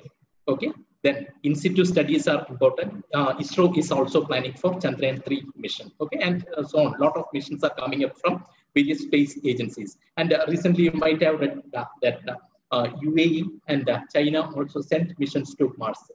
Okay, now Korea is on the way. So a lot of space agencies are there, okay, targeting these planetary bodies for a better understanding of this planetary evolution purpose. So now I'm uh, coming to the conclusion of this talk. I'll show you one uh, video showing the whatever thing I uh, discussed in this particular lecture. Okay.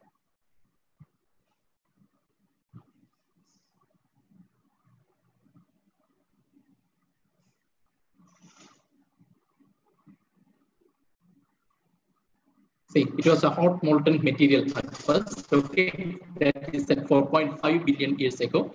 It was continuously hit by meteorites. And the anorthositic crust was formed. See, okay, what happened? Then it was hit by impactors.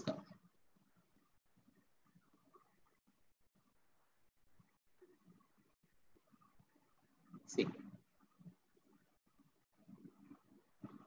Okay, and because of that, Mare regions has been formed on moon. Okay. See, this is the formation of Mare regions. Okay, I'm going uh, quickly. So after that also the Mare region formation continued from 3.8 billion years up to 1 billion year. Okay, then after that only like intermediate cratering and if you are coming to that present scenario only micrometeorite impactors are taking place on our Earth's moon. Like Okay, so what are the future important aspects like a return mission, in situ exploration, diversity of rocks, mantle, space weathering processes, then ionospheric or atmospheric studies, looking for any habitable environments like then robotic and human exploration. Okay, so a lot of opportunities are available for youngsters who are interested in planetary science. Don't think that this is only that based on rocks and minerals. Okay, in order to come to this conclusion, we need the concepts from physics, mathematics, chemistry, uh, etc. Okay, so this is actually a sort of a multidisciplinary science. And many missions are there for you by various space missions like Mars, Moon, Venus, asteroids, etc. are there. I'll quickly show you one, two important aspects of Chandrayaan 2. Okay, so this is known as the terrestrial analog research. In Tamil Nadu area, in Sithampundi, there are like rocks equivalent to lunar highland rocks are there. Okay, so uh, that particular region is in Sithampundi. Okay, these rocks are known as that anorthosite. So for Chandrayaan 2, you know that a uh, rover and lander was there. So before uh, taking that to moon, scientists should do some sort of testbed experience in our Earth. Okay, so then only they can send this particular instrument on moon. Yeah. When the ISRO scientists, when they approached that, it was very costly for this lunar material. Okay, then they thought of uh, collecting the materials from India itself. Okay, so they uh, considered the Sithampundi anorthosite as a typical lunar anorthositic material. So they have collected approximately 500 kilogram of material from the uh, Sithampundi area. That is a lunar equivalent rock. That is lunar highland equivalent rock. Okay, so they have actually prepared a lunar yard which is having same mineralogical physical property, especially in terms of grain size, minerals, etc. Okay, and uh, they have conducted testbed experiments over here. See, okay, so this is one aspect. That is another important beauty of uh, geology. Okay.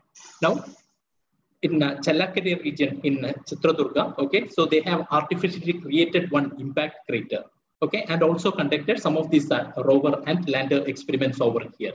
Okay, see, here. So you can notice one impact crater, which is artificially created. They have checked the rover wheel movement over here also. So lot of scopes are there. Then this is uh, my group. Okay, so we uh, usually conduct field work in these type of regions. Okay, so this is one region in Muttam in Kanyakumari. Okay, so we consider this as a potential region on Mars. Sorry, potential terrestrial analog for Mars. Okay, so you can notice that uh, gullies are there. We know that Mars is a red planet. If you are going to this particular region, it is full of redness. Okay, red sands are there. Okay, so along with my students. Okay, so we used to conduct uh, field work with the other uh, universities also. Okay, so these are gully type of features formed on Mars. Sorry, formed on Muttam region, and these are gully type of features formed on Mars. Like, okay, you can have a crude comparison over here. Polygonal cracks in the Muttam region, polygonal cracks on Martian surface, gullies on Muttam region, okay, gullies on some crater on Mars. Like, okay, so we can have a sort of comparative planetology using these type of studies also. Okay, so now the last session. So suppose if uh, any of you are interested in geology or planetary geology, okay, so if you're in your plus two, if you're a combination of PCM or PCB, okay, you can go for BSc geology, then MSc geology, and you can proceed with the MTech in geology, earth system sciences, remote sensing, geoinformatics, etc. Lot of uh, PhD opportunities are also available. Then these are some of the premier institutes in India offering their planetary geoscience courses. Okay, so for this particular presentation, many persons have helped me, especially these videos which I took were from NASA's LROC mission and also from ISRO's Chandrayaan 1 mission, then our director, then uh, other colleagues from IIRS and Space Application Center Ahmedabad and my PhD students have helped me for this particular presentation. So thank you very much.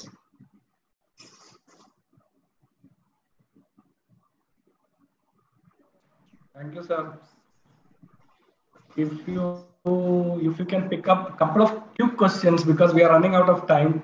If you can pick up couple of some quick questions and if you can give your email ID to the students, then they can actually write to you. A lot of uh, questions are there. Like I think, uh, yeah. So I don't know from where I start. Like, yeah.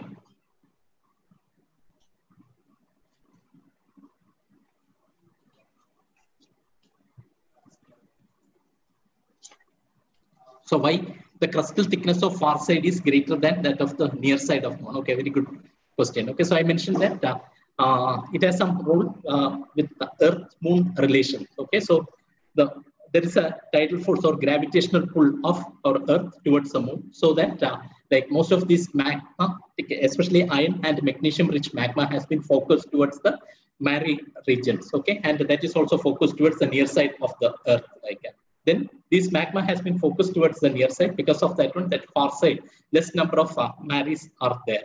Okay, Mare means that uh, uh, iron magnesium regions are there and it got enough thick to grow. Okay, so that is the main reason because of that gravitational pull.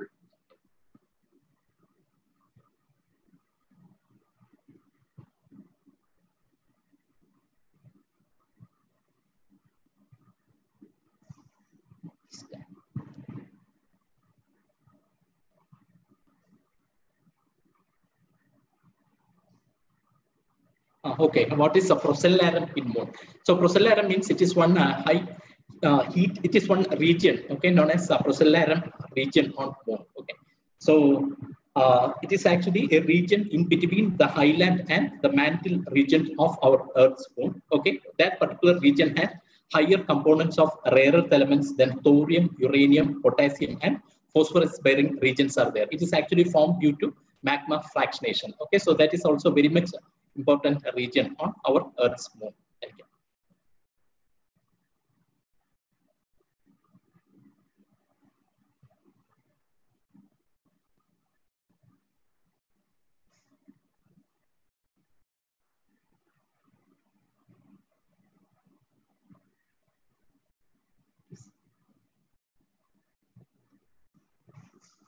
Yeah best camera was sent to moon yes sir, that is the ohrc okay so right now if you are taking that uh, various cameras available on moon that ohrc is the best one that is having a 25 centimeter to that 100 kilometer orbit yeah.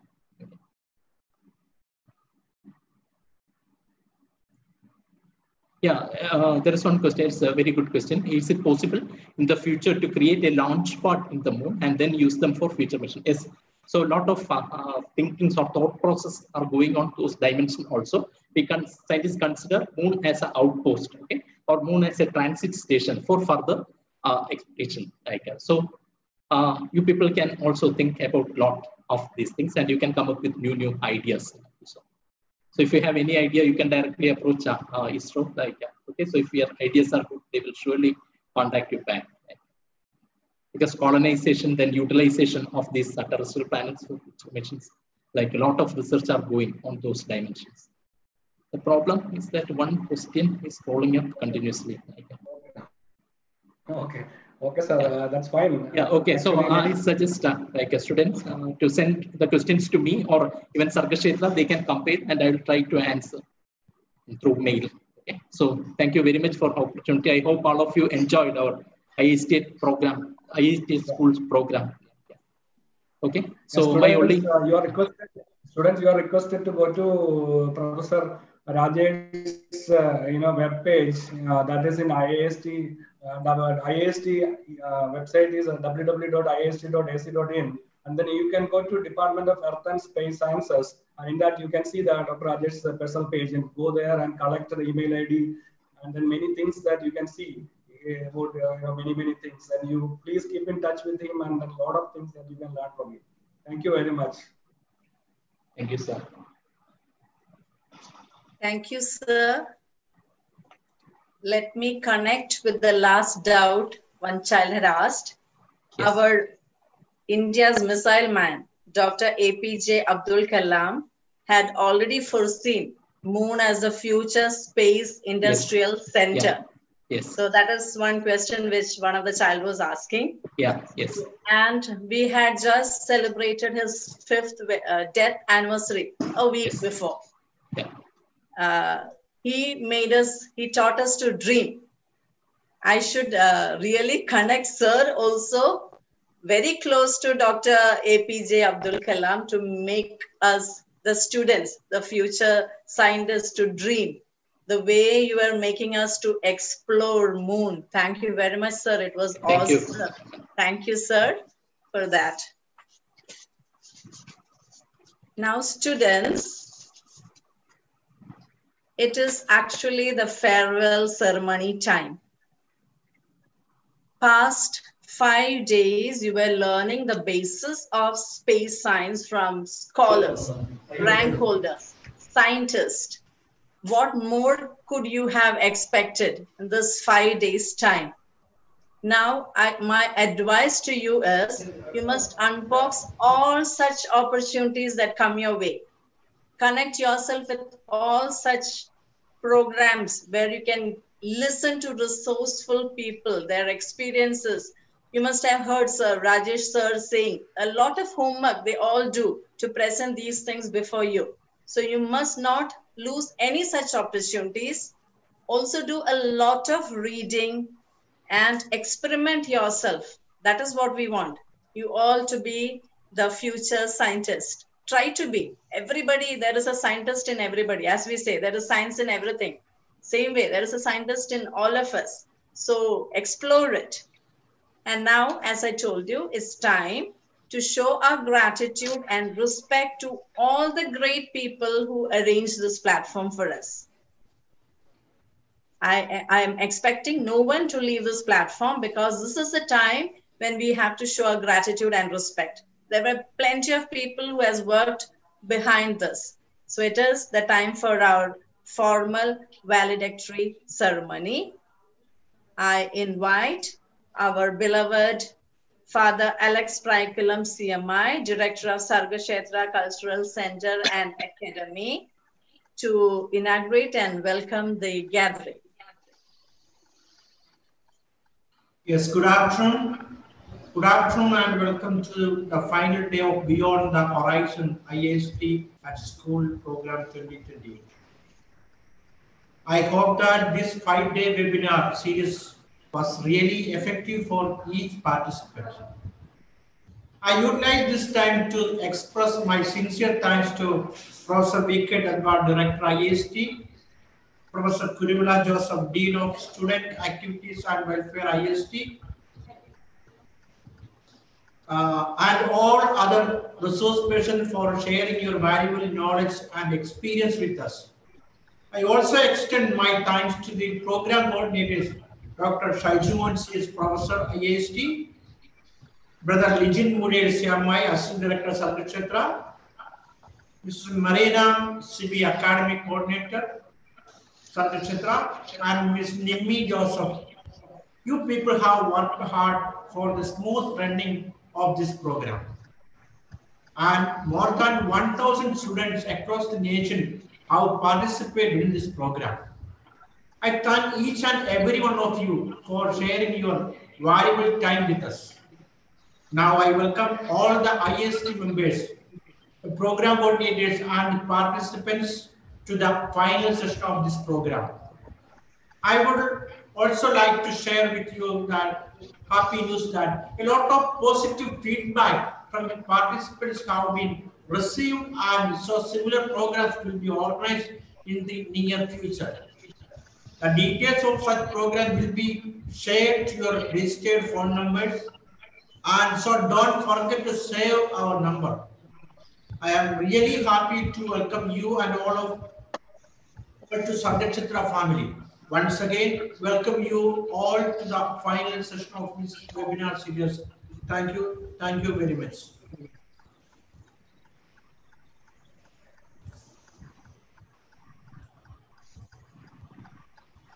Thank you very much, Father.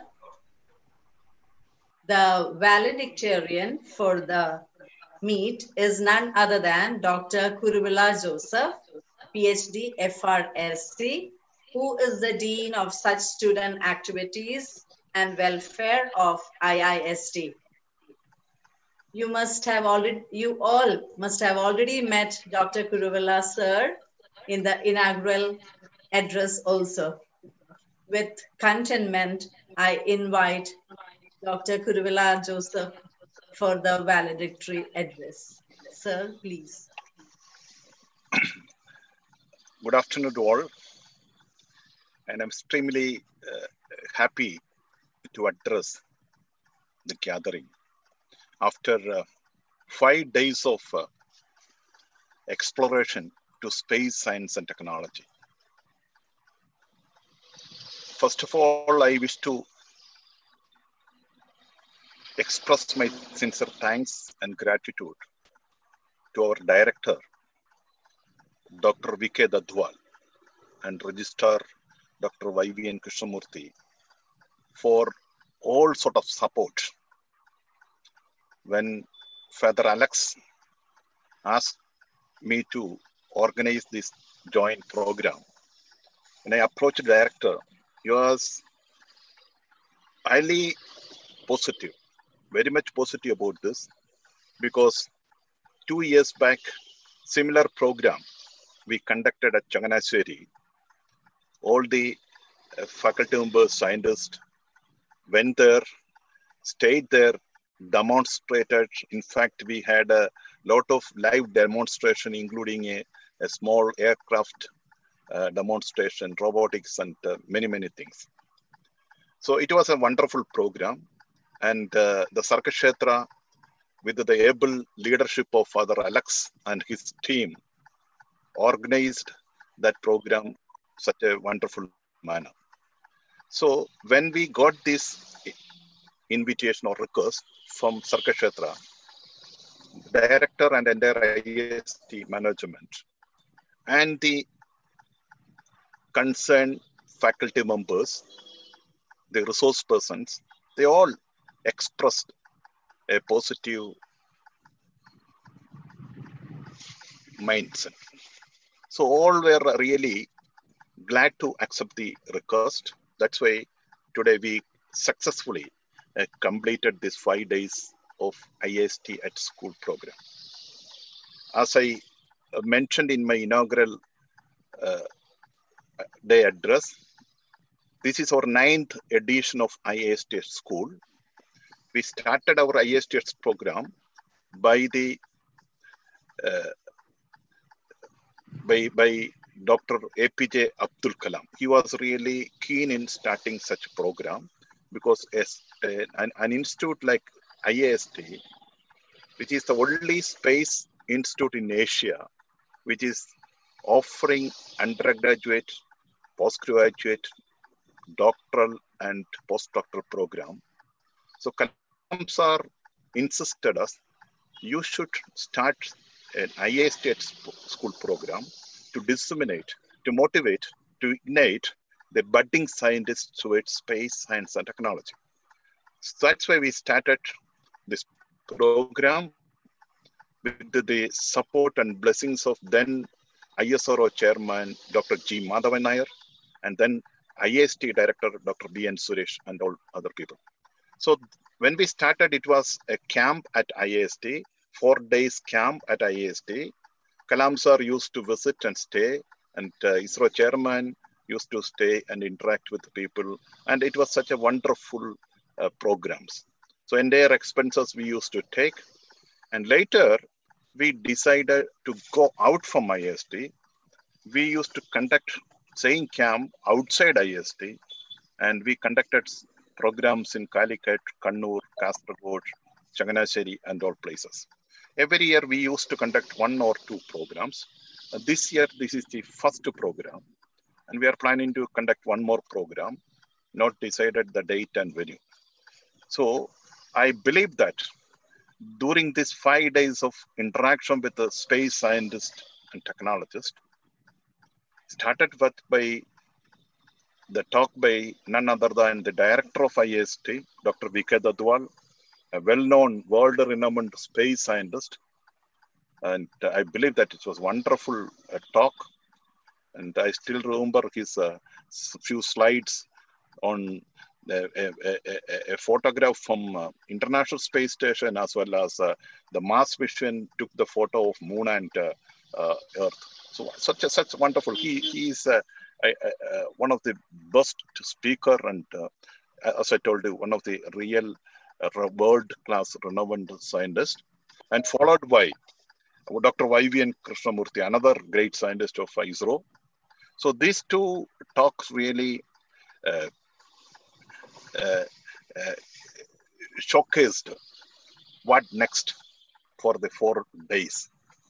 So over the four plus one day, five days, you have observed various aspects of physics, uh, space science technology through mathematics teaching to physics demonstration and uh, humanities. So Dr. Shaijumon established the applications of space science for the rural people.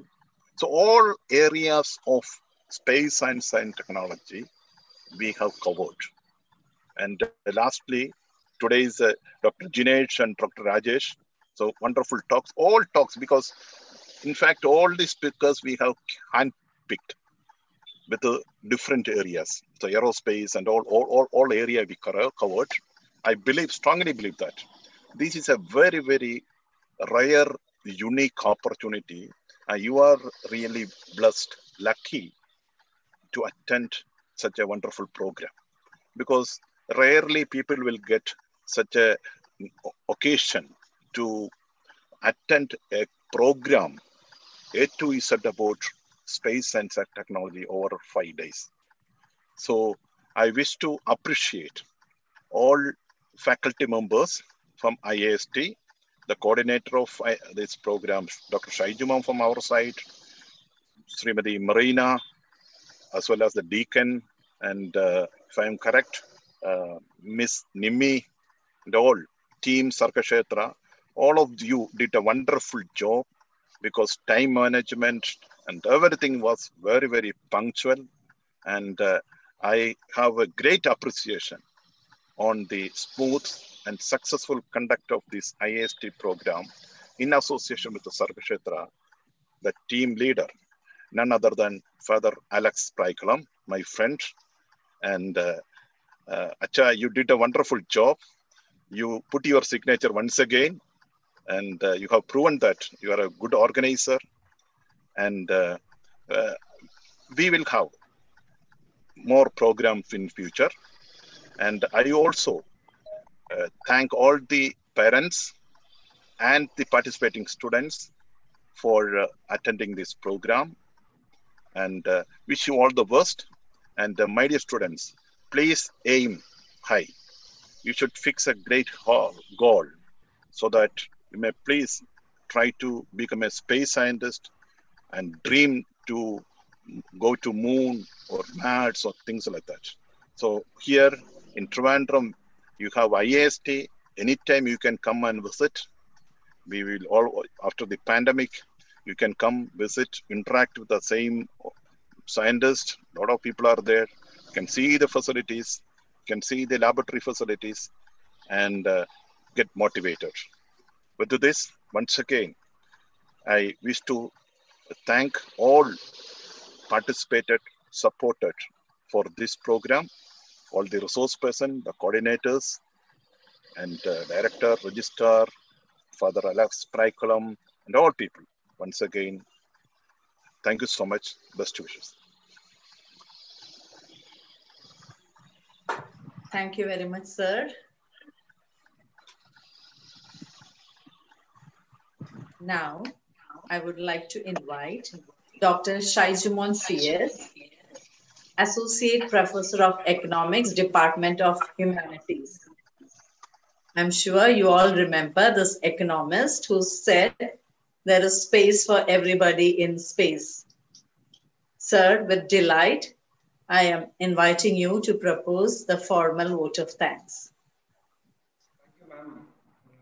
In fact, uh, the Dean of Students Activities already proposed enough vote of thanks to all of us. Actually, I am really overwhelmed and humbled the way that uh, Sargakshetra organized this program. See, I can see I was going through the chat box and right now the students are sending how well received the program.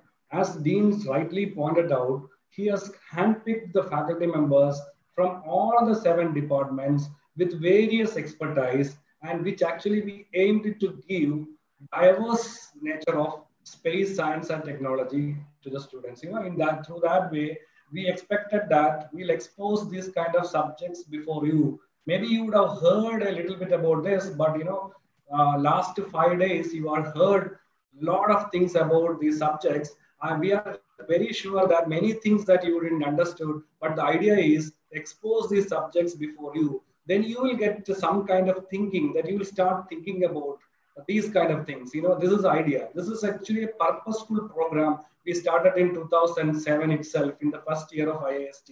Like this was the dream project of our uh, first founding chancellor of uh, APJ Abdul Kalam. He said that you should, he, he usually he say to us that faculty members, you have to learn from students.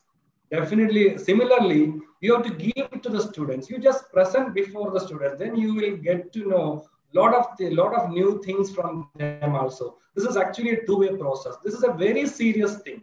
We are not taking it as, as a simple or a easy thing for the students and all.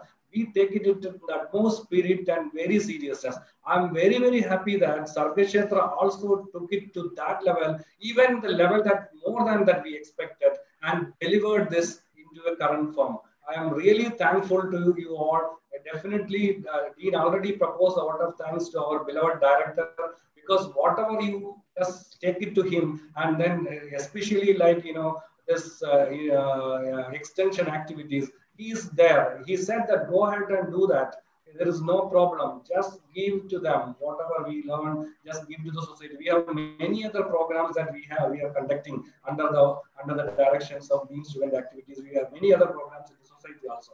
So uh, I, I formally thank our beloved director and registrar for giving such a wonderful opportunity. I also thank the dean students actually. He was so humble by saying that you know that everything else, everybody else organized this program, but actually the key person is dean student activities, uh, Professor Kuruvilla Joseph. He is actually the instigator. He is the motivator.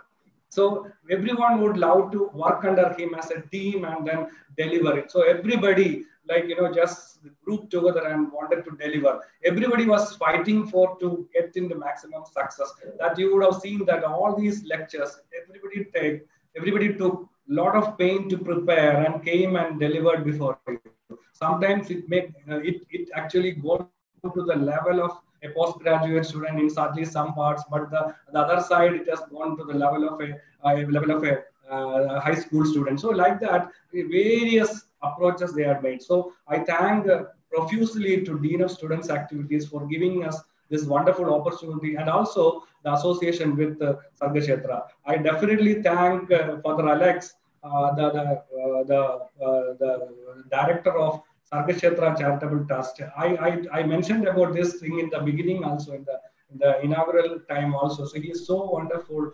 And then usually he calls me for organizing such kind of things because Dean is always busy. So whatever you just say that within seconds it is ready, it is done. He'll say that it is done. Father, it is not a prize in front of anyone. It is, it is actually what already. I know that you don't like prize, and you told that also yesterday. But it is actually a you know acknowledgement your committed effort. That commitment commitment we like. See, you can see that all those faculty we came here for presentation also. They're all very committed. So I wanted to thank them, faculty also, for coming and presenting all these uh, uh, lectures. I def definitely want to thank uh, Miss Marina. She's so wonderful and controlling the entire program. She's such a very nice person with a pleasing and very very good attitude and then she controlled and you know everyone every faculty member every single faculty member they are giving us feedback that such a wonderful uh, person that she was actually angering and then controlling the program so we are very thankful to you ma'am for, for controlling the entire program and then uh, doing it in a very, very uh, right way. I also thank the other members of the Sargakshetra team, like uh, the, the, the for, for, for brother uh, Nigel, I think, uh, Nim, uh, Miss Nimi, and others. So I thank all of them for the support because they are all, I know, behind the scenes, A lot of work is happening.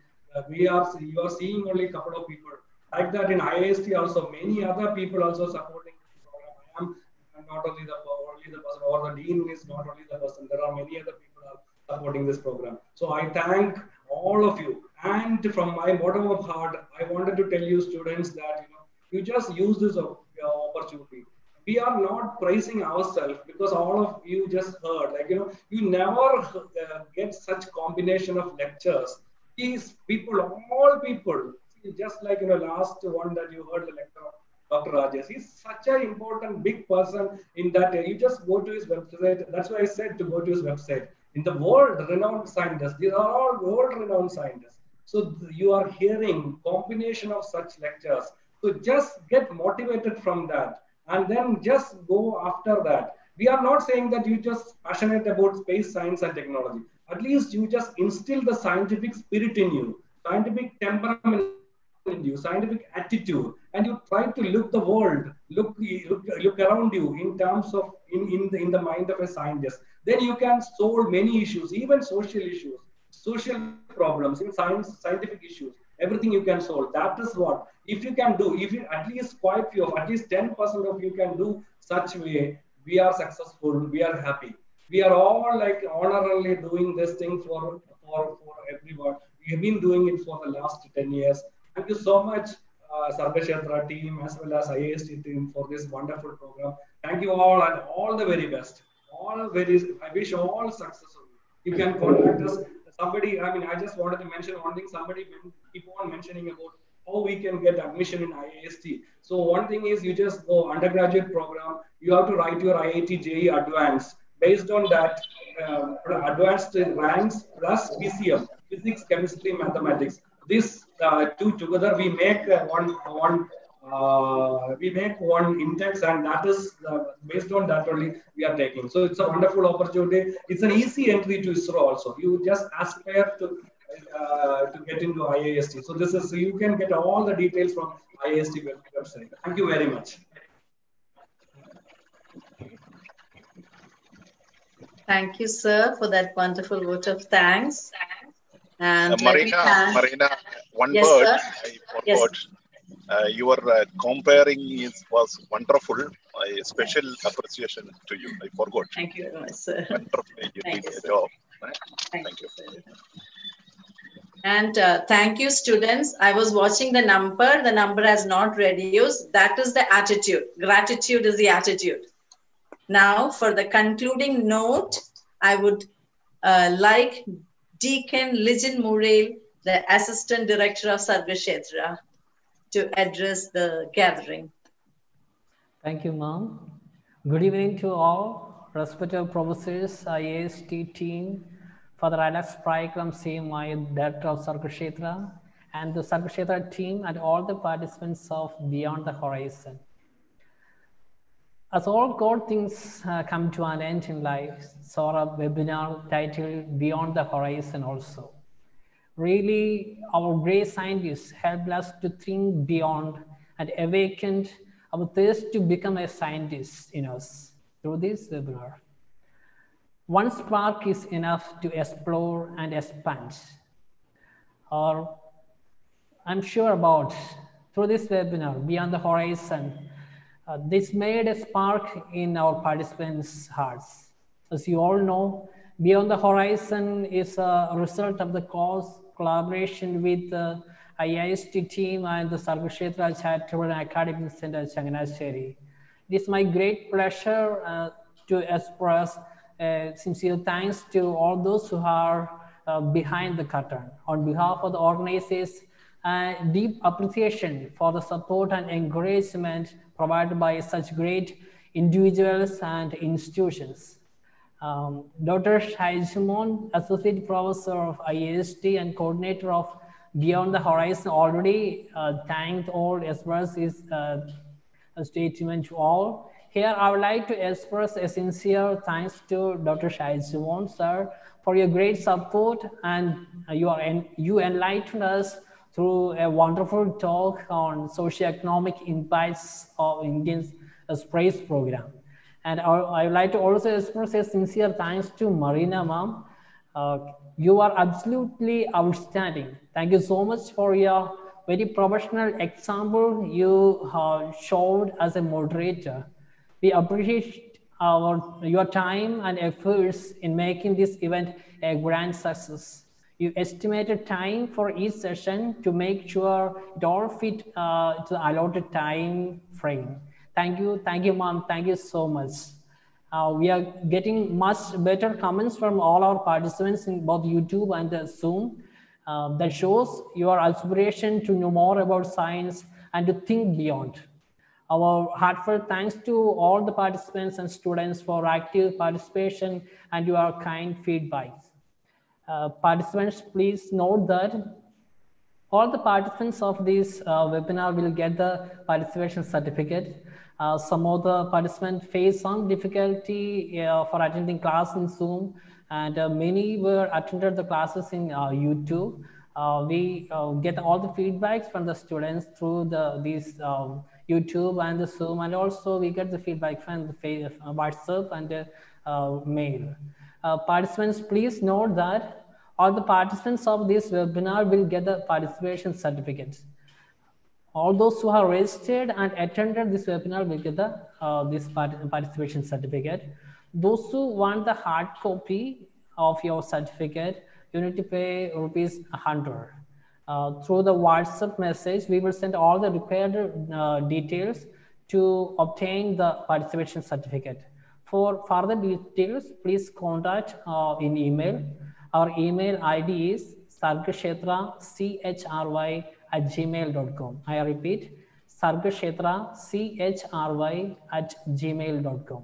Once again, thanking you all, uh, best wishes, and uh, have a nice day. With these warm words and kind message, we move to end of five days webinar Beyond the Horizon. Thank you. Thank you all. Hoping to meet you all soon in similar platform. Good day to all. Thank you and Jai Hind. Thank you. Thank you all.